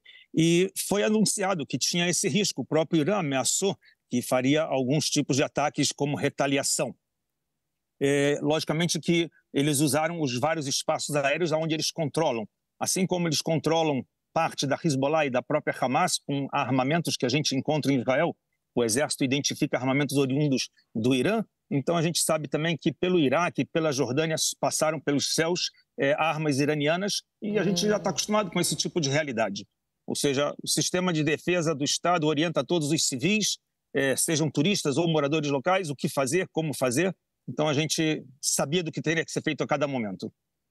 E diante disso, é, você foi ficar num, num, canto mais seguro da sua casa? É porque me chamou a atenção, porque disseste, Marcel, é que você ficou filmando. Ou seja, você se sentiu até, até. Eu não sei se seguro é uma boa Bem palavra. Seguro. Isso, é, é, é, isso que eu quero ouvir, por favor. É, eu, eu, acredito que tem assim, é, os iranianos, assim como também o pessoal da Hezbollah e o pessoal da Hamas, é, não são tão loucos de lançar foguetes numa área onde pode ter um risco de 30% acertar muçulmanos. É como dar um tiro no pé. Ou seja, na Jerusalém Oriental, 30% da população é islâmica. É, não é comum que eles variam lançamentos para acertar lugares como esses. Circulou na internet que eles passou por cima da, do domo da rocha e da mesquita de Elatza foguetes. Não tinham objetivos de acertar nenhum lugar desses. Passaram longe por cima com intenção de provavelmente cair na parte da Jerusalém Ocidental, talvez no parlamento de Israel, ou talvez numa universidade, em alguma instituição civil, mas nunca num lugar religioso islâmico. É, no fundo, no fundo, eles querem demonstrar uma certa reação à, à, ação de Israel, uma vez que a gente vive um conflito onde o Irã é, alimenta todo esse terror que tem da Hezbollah e da Hamas, e Israel, de todas as formas, vai impedir que esse alimento de armamento chegue às fronteiras, ameaçando a vida civil da população. Ou seja, então faz sentido a interpretação por parte dos analistas especializados nesse assunto de que não foi exatamente um ataque, mas sim uma demonstração de força. É, olha, é, eu não tenho acesso às informações claro, claro. o que, que o Irã tem de arsenal, uhum. mas logicamente que o Irã não tem interesse em começar uma terceira guerra mundial. A gente sabe que o mundo polarizado do jeito que está, se ele faz uma ameaça ou um ataque que poderia ser ao estilo 32 anos atrás Saddam Hussein, a gente viu o resultado que foi com a guerra no Iraque. Ou seja, o Irã, ele é, de alguma forma, ele tem uma sociedade, uma economia para se manter, não vive as mil maravilhas, então ele entende que ele precisa mostrar para a sua população que ele faz algumas coisas. Circulou, curiosamente, fotos dos sites eh, iranianos de Tel Aviv pegando fogo. Fotos fakes, fotos de Texas, Marcel. onde, na verdade, colocam como se fosse Tel Aviv. Desculpe interromper-te, Marcel. Precisamos ir ao vivo okay. agora neste Breaking News para a CNN nos Estados Unidos. Na sequência, okay. a gente retoma a conversa. Vamos ouvir com tradução simultânea. O almirante Kirby Claro que o Irã uh, estava um, violando o espaço aéreo da Jordânia e da Arábia Saudita. Quem mais estava junto com essa resposta para combater esses uh, drones e mísseis? Quem mais estava participando? Participando dessa contraofensiva. Bem, não posso entrar em detalhes específicos sobre a região, mas era o certo para evitar que o Irã espalhasse seu terror. Posso dizer que os Estados Unidos estavam presentes, e a coordenação sob a liderança americana nos ajudou com essa coalizão que foi uma bem-sucedida. Os britânicos e também os franceses e aliados regionais uh, sentiram que o Irã tem intenções hostis e atitudes hostis contra a estabilidade regional e, portanto, eles sentiram, esses players sentiram que era relevante tomar uma atitude. Acho que é importante falar sobre a, a aliança estratégica que se fortalece e isso é positivo. É importante ter uma atitude positiva.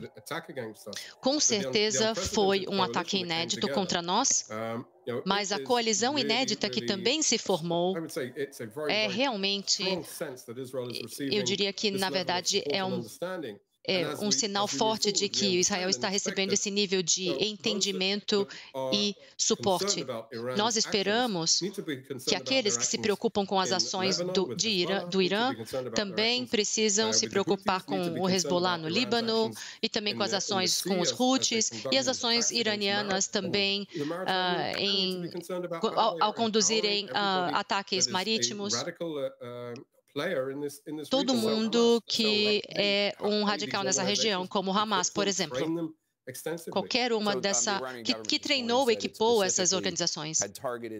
O governo iraniano disse nesta manhã que teve como alvo a base aérea de onde Israel lançou um ataque contra o consulado iraniano na Síria, matando sete uh, oficiais. Qual a sua resposta a respeito disso? Israel estava por trás desse ataque? E qual a sua resposta em relação ao Irã, dizendo, falando sobre que esse ataque cruzou uma linha e provocou essa resposta? O Irã está por trás de tudo de ruim que acontece nessa região por muitos anos para desestabilizar a região. Nos últimos seis meses, eles foram os mentores por trás do Hezbollah, do Houthis e dos, do Hamas, e também de tudo o que está acontecendo na, no corredor marítimo. E, portanto, o Irã não precisava de uma desculpa, eles escolheram estar na linha de frente deste ataque a Israel.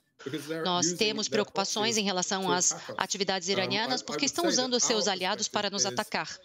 Eu diria que nossa perspectiva é que isso não começou no dia 1 de abril, começou muito antes disso.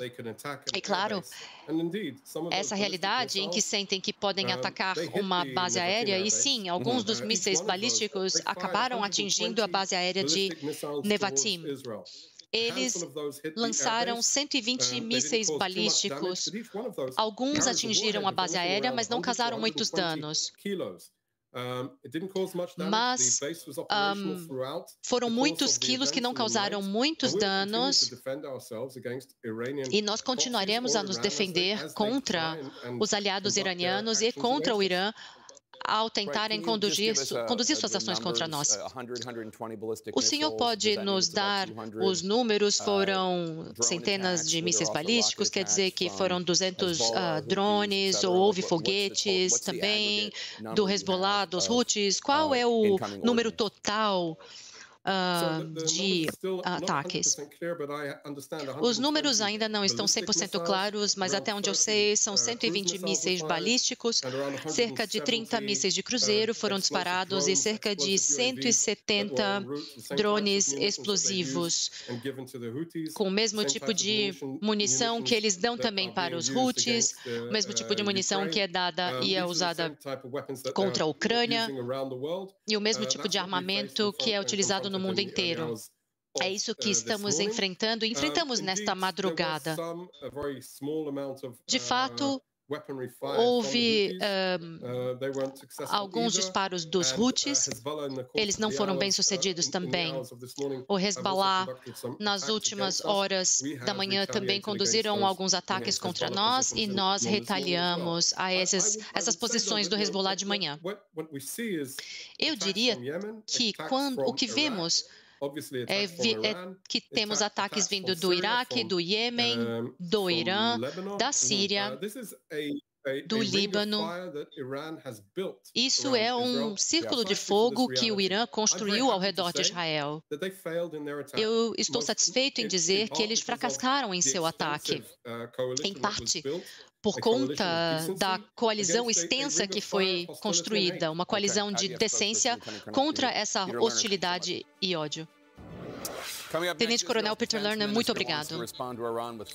A seguir, o ministro de Defesa quer responder ao Irã e eu vou perguntar ao ex Ministro. Uh, Nós estamos então acompanhando essas informações que chegam agora da CNN nos Estados Unidos, inclusive reiterando a fala do âncora na CNN de que uma das hipóteses de destino dessa ofensiva do Irã nas últimas horas é que tenha tido como foco, como alvo, o endereço de onde partiram os ataques de Israel dias atrás sentido a embaixada do Irã na Síria. Porque essa resposta, eh, esse movimento vem é, como uma resposta do Irã após o ataque de Israel à embaixada iraniana na Síria. Eu volto agora a conversar com o Marcel Berdicheves, que ao menos para que nós possamos aqui concluir o nosso raciocínio. Obrigada pela gentileza de nos aguardar. Nós estávamos obrigado, com a CNN vocês. nos Estados Unidos. É, por fim, quero ouvir-te, por favor, sobre qual é a situação neste momento. É que tipo de mensagem o governo tem emitido? Se falaram alguma coisa ou alguma instrução para vocês ficarem seguros, Marcel? É, como foi falado antes, a gente está é, numa sociedade já treinada a essa realidade, ou seja, continuamos num sistema de alerta, seja através da Hezbollah e até mesmo, lamentavelmente, ainda da Hamas. Cada vez que se permite um pouco mais do cessar-fogo, é, voltamos a receber foguetes saídos de Hamas. É, acreditamos que o Irã tenha demonstrado a sua, a sua força, como ele quis dizer, talvez, passando o seu papel, não passou em branco esse episódio. Marcou a sua, sua passagem para a sua sociedade, dizendo revidamos.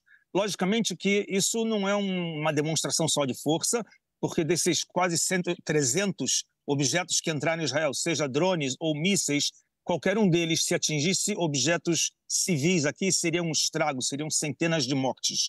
Ou seja, não é uma demonstração apenas de força, literalmente é um ataque. O fato de você usar um empurrão ou um soco é um ataque. A reação, como vai vir depois, e logicamente eles não queriam fazer disso uma escalada que vai trazer uma terceira guerra mundial. Então eles aproveitaram e fazer uma força pequena, mas não deixa de ser um ataque. Usar isso como demonstração de força é como falar, eu vou dar um empurrão, mas não bati em ninguém. Então é, é a forma simples de entender. A sociedade está preparada para continuar a se defender a qualquer tipo de ameaça que venha do Irã, uma vez que, como já ouvimos aí do militar é, falado, é, é o que está por trás nesses últimos anos de alimentar todos os grupos terroristas que levantam-se contra o Estado de Israel. Não é nenhuma novidade e a gente está aqui preparado para isso. A sociedade é treinada para isso, para isso tem um exército. E tem a coalizão dos países de bem que combatem contra o terrorismo. Marcel Berdichevski, brasileiro que vive Fala, espero não ter tropicado aqui no seu sobrenome, Marcel. Muito problema. obrigada pela gentileza de conversar conosco e desejo, dentro do possível, que esteja tudo bem com você e sua família. Muito obrigada, Marcel. Muito obrigado. Obrigado, tudo de bom. Uh, Meio-dia, tá 27 ótimo. minutos. Muito obrigada. Seguimos aqui em Breaking News na CNN Brasil. Oi, com esse conflito no Oriente Médio, nós seguiremos com a nossa cobertura especial e, excepcionalmente hoje, uh, não tem Domingol com o Benja tá bom? Mas você pode saber tudo sobre a primeira rodada do Campeonato Brasileiro, esporte e tudo mais nas redes sociais da CNN Brasil. Também tem o QR Code aparecendo aqui ao meu lado esquerdo, o seu direito da tela, tá bom? Para você poder ficar bem informado, mesmo que você não tenha a exibição do programa hoje. Por causa do Breaking News, então, nós seguimos aqui cobrindo todo o conflito no Oriente Médio. O ministro de Relações Exteriores iraniano disse hoje que o Irã notificou os países vizinhos 72 horas antes do ataque contra Israel. Ou seja, ocorreu uma notificação.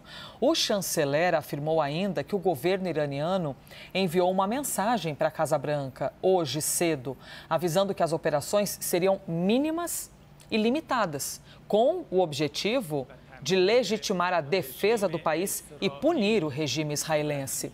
O ministro disse ainda que as forças de segurança não tinham como alvo a população ou os centros econômicos de Israel e afirmou que o Irã nunca buscou a escalada da tensão na região. Portanto, vejam só a importância dessa fala, hein?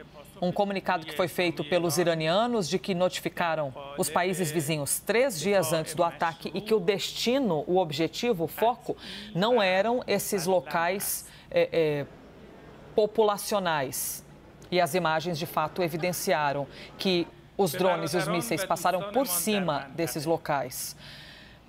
Meio-dia, 29 minutos porém poderia ter machucado muita gente. Né? É tão delicado, Yasbeck, quando a gente está aqui fazendo uma cobertura de um conflito, é, é sempre muito delicado porque você tem narrativas, você tem versões e cada um defendendo ali o seu lado. Cada um tem uma grande justificativa para ter atacado ou por ter feito uma, um, uma ofensiva, uma contraofensiva e tudo mais. O fato é que a gente tem importantes lideranças, não é, Yasbeck, reunidas para ver de que maneira vai ser daqui para frente, né? de que maneira evitar que isso se escale ainda mais. E neste momento, os líderes do G7 estão reunidos para discutir esse ataque iraniano sem precedentes. Né?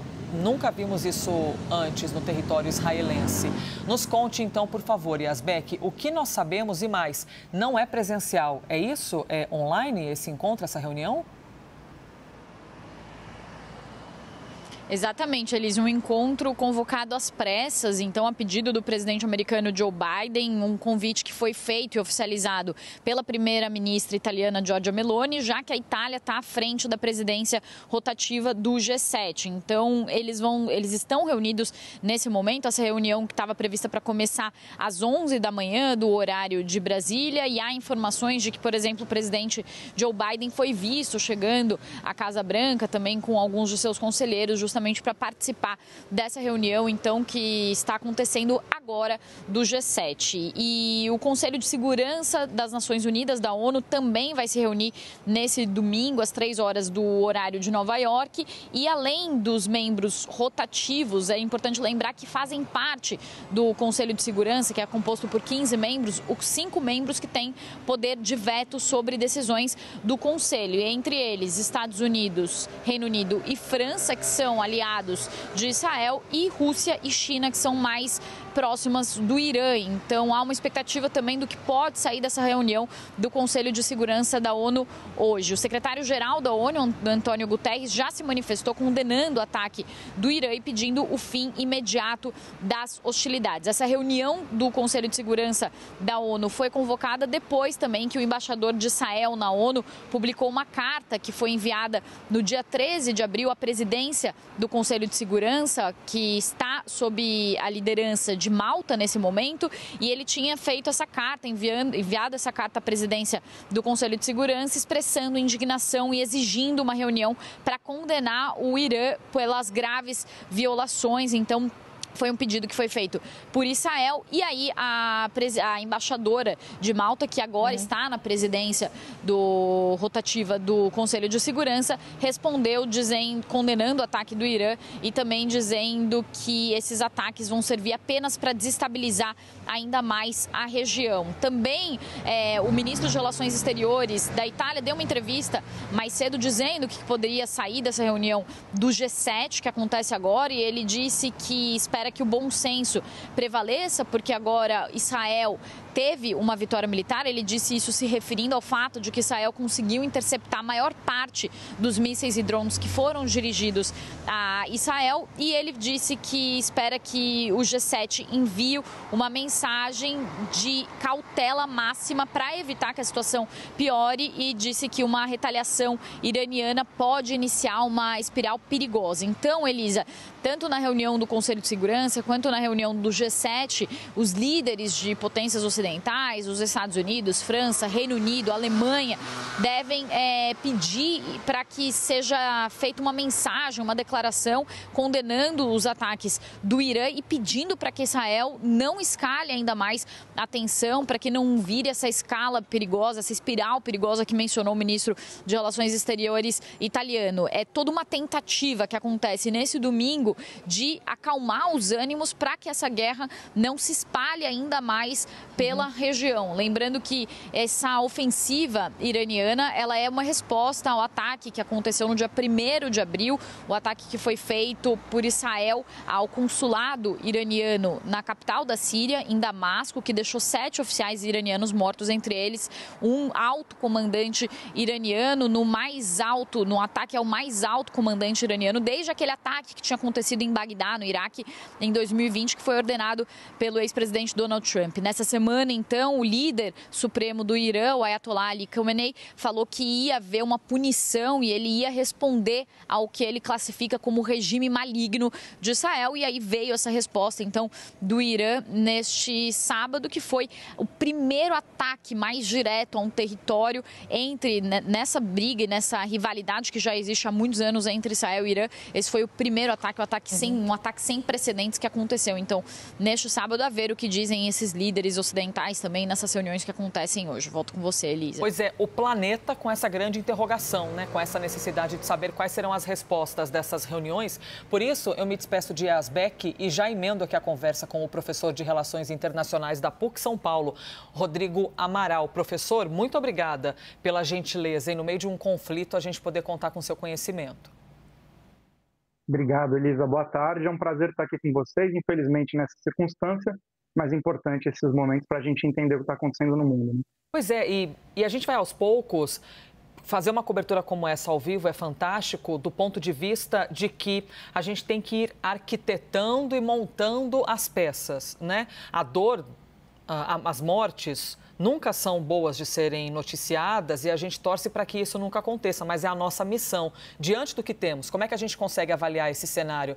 Por isso, professor, eu quero ouvi-lo, por favor, sobre essas mortes que ocorreram na embaixada é, da Síria e que, segundo Irã, é, seria uma resposta, né? ou seja, mais do que um ataque, uma demonstração de força sobre, olha, não mexam com a gente.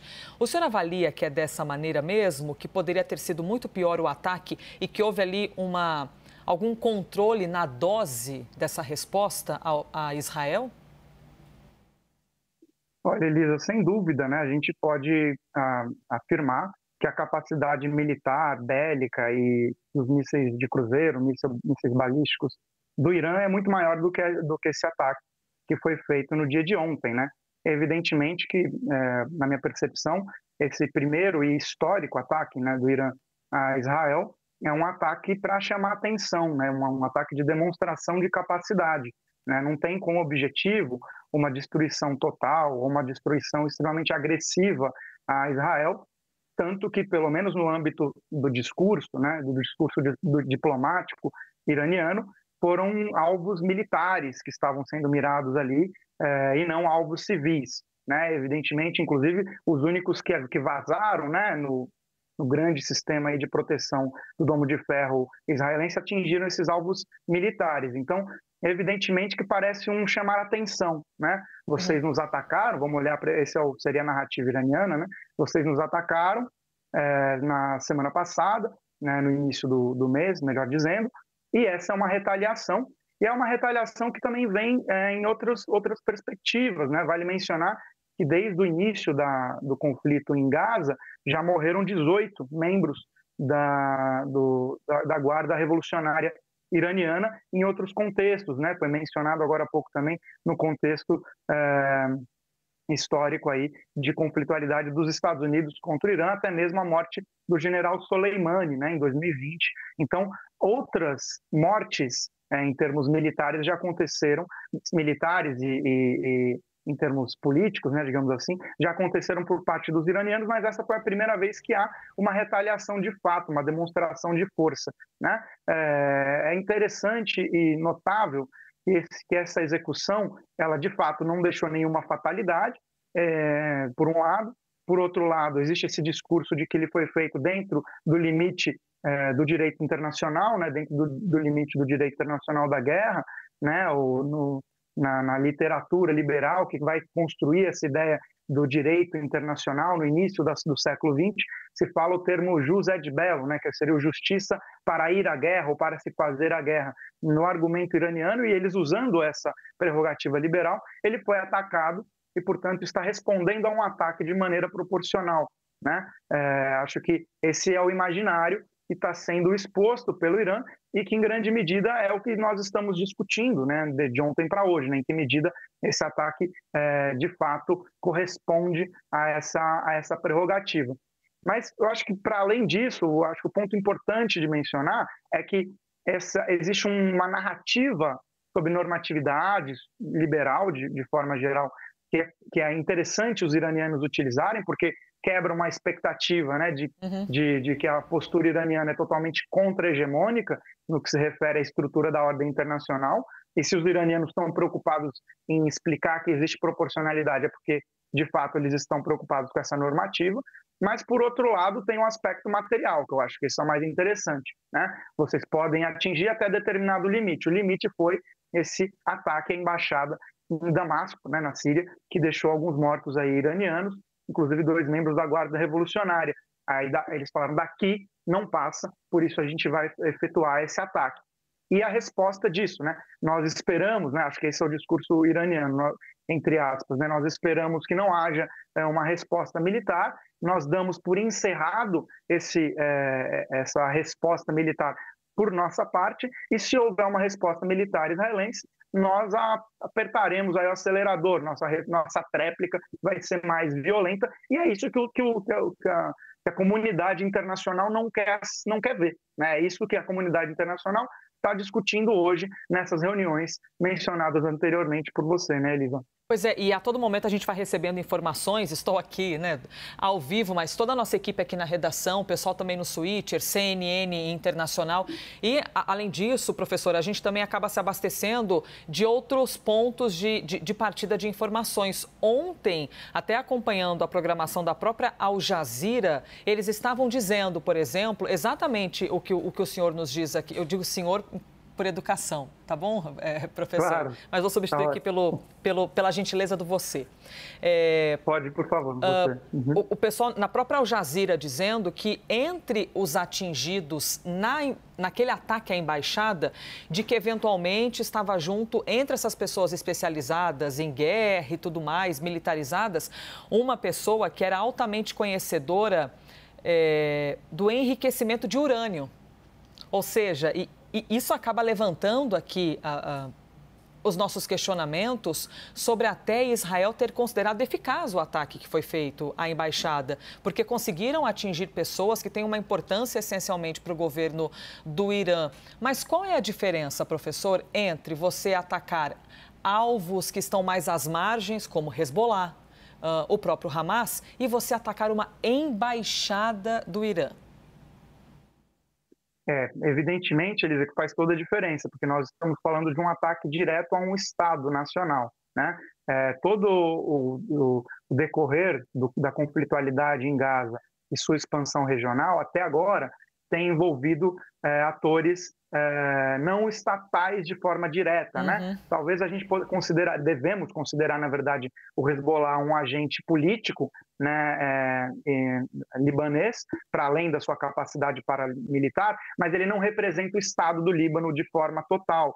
Né? Devemos considerar as forças de mobilização popular no Iraque representações políticas e paramilitares lá, mas eles não respondem como a voz do Estado iraquiano. E a mesma coisa os Houthis, né? Os Houthis no Iêmen não respondem ao que é reconhecido internacionalmente como o Estado do Iêmen. Agora, atingir uma embaixada é um manifesto direto de conflitualidade de um Estado para outro Estado. Né? Então, a gente está falando de uma intensificação ou da expansão de uma conflitualidade que até agora tem dimensões muito mais é, é, estatais versus não estatais para uma que seria estatal versus estatal. E digo mais, dentro de uma dimensão em que o Irã é um dos maiores atores militares do Oriente Médio, né? inclusive em, em, números totais né, de contingente militar, que é uma das variáveis, a gente tem várias variáveis para enumerar a capacidade militar. O Irã tem 650 mil é, militares ativos, enquanto Israel tem 177 mil, né, que também é um número muito grande mediante o tamanho do seu território, mas o Irã tem uma capacidade tremenda.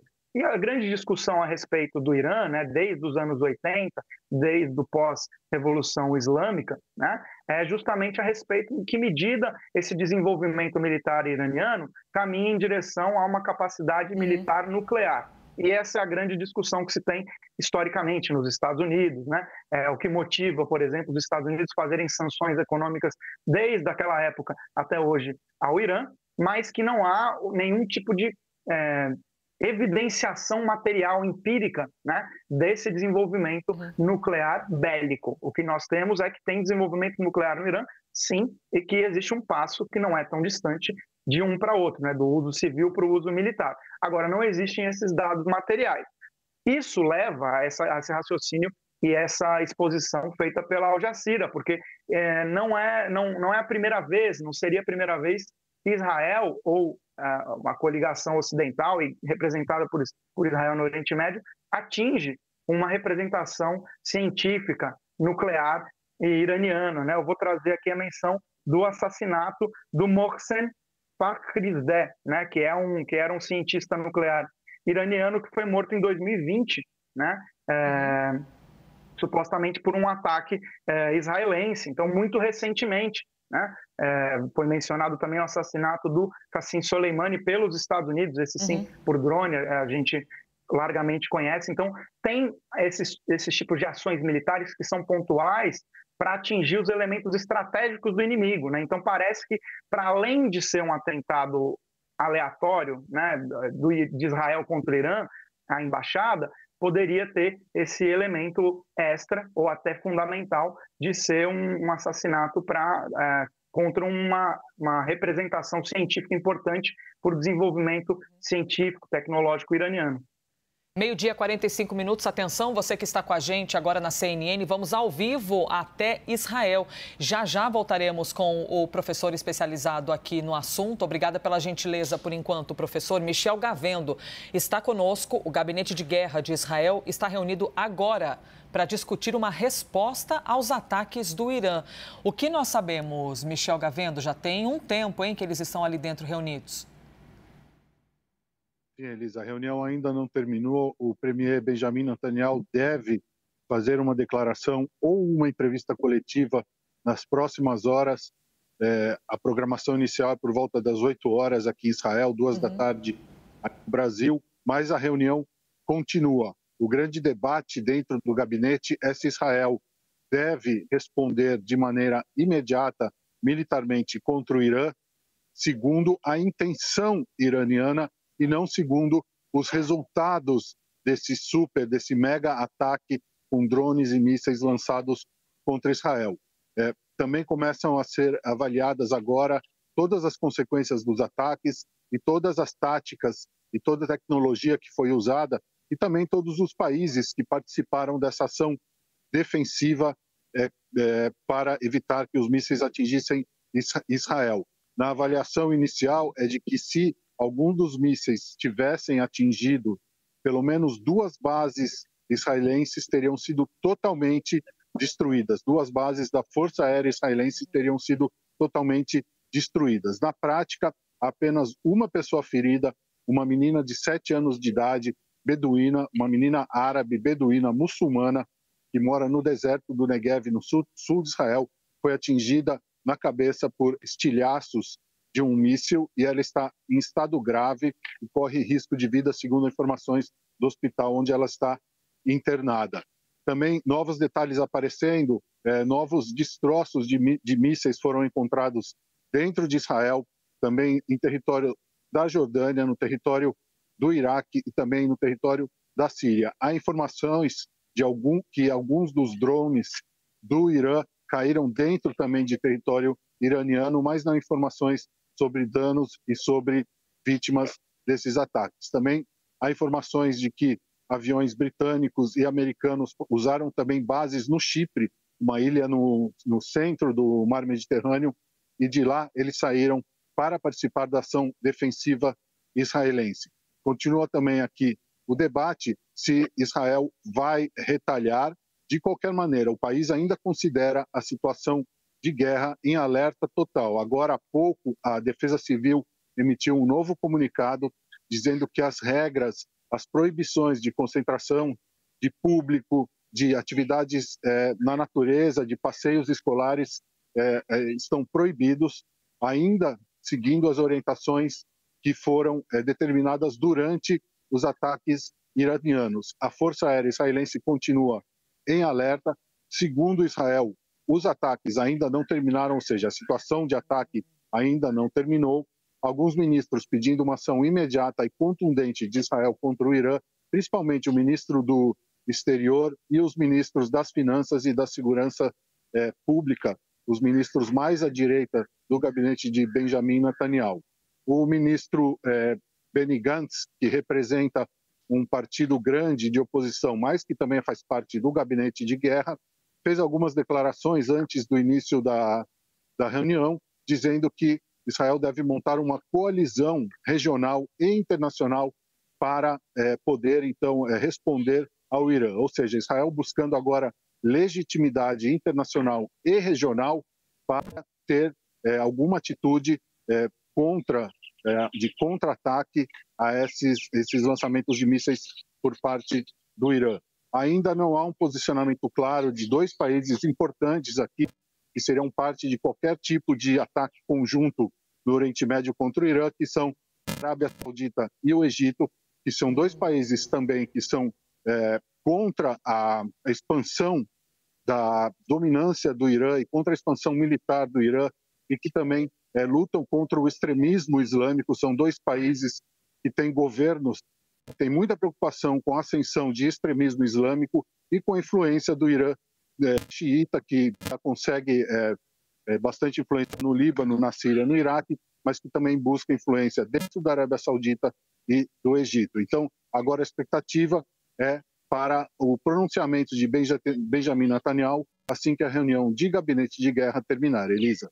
Michel Gavendo, quantas informações importantes, hein? A informação de que está ocorrendo agora uma reunião com ministros israelenses para decidir qual vai ser o próximo passo. A gente vai, inclusive, agora mostrar para vocês eh, de que maneira foi esse ataque do Irã, um ataque sem precedentes. Nós nunca tínhamos visto o território iraniano atacando o território israelense. E nós vamos agora mostrar para vocês esse som, esse áudio é do vídeo. Ah, é do vídeo. Levei um susto agora achando que fosse o áudio no entorno de Michel Gavendo. Vamos aqui com uh, essas informações expostas para vocês, tá? São os números mais atualizados. Pronto, aparecendo aqui ao meu lado, ó. Ataque histórico do Irã foram mais de 300 projéteis disparados contra Israel. Vocês estão vendo aqui, ó, 170 drones, mais de 120 mísseis balísticos e também a informação de que foram mais de 30 mísseis de cruzeiro. Ou seja, esse ataque, é, pelo menos são os números que foram apurados agora, ou seja, números frescos que recém chegaram aqui para a gente. Esse ataque durou cerca de cinco horas, já que os projéteis. É, viajaram né, mais de 1.700 quilômetros. A gente está falando como duas vezes ir e vir de São Paulo até Porto Alegre, por exemplo. Mais ou menos equivale essa distância. Então, o ataque durou essas cinco horas, levando em conta o horário que saiu do território iraniano até chegar ao território de Israel. O exército de Israel afirma que interceptaram 99% dos disparos. Importante lembrar aqui que a CNN já confirmou a participação dos Estados Unidos, Reino Unido e também França nessas ações de defesa, ou seja, esses países colaborando com a defesa. Também expusemos a apuração de que parte desses projéteis teria sido já interceptada antes de chegar em cima do território de Israel. São as notícias, os detalhes que a gente vai sabendo aqui dentro da redação e compartilhando com vocês. E em entrevista aqui para a CNN, o embaixador de Israel, Daniel Zonshine, disse estar desapontado pelo Brasil não ter condenado o ataque do Irã a Israel. A gente está falando do embaixador que viveu inclusive uma situação diplomática sensível com o governo brasileiro. Vamos ouvir o que ele disse. Eu também procurei a palavra, um tipo de condenação, eh, mas não achei, infelizmente, foi muito desapontado, porque acho que quando tem este tipo de ataque, como disse, de um país diretamente do território dela sobre outro país do território dela, e Brasil aceita isso, eh, ou pelo menos não condena isso, acho que, eh, como disse, foi desapontado que, que isso não aconteceu. Eh, tenho, ainda tenho expectações do, do, do Brasil neste sentido. Espero que não vamos eh, ter que continuar com este, este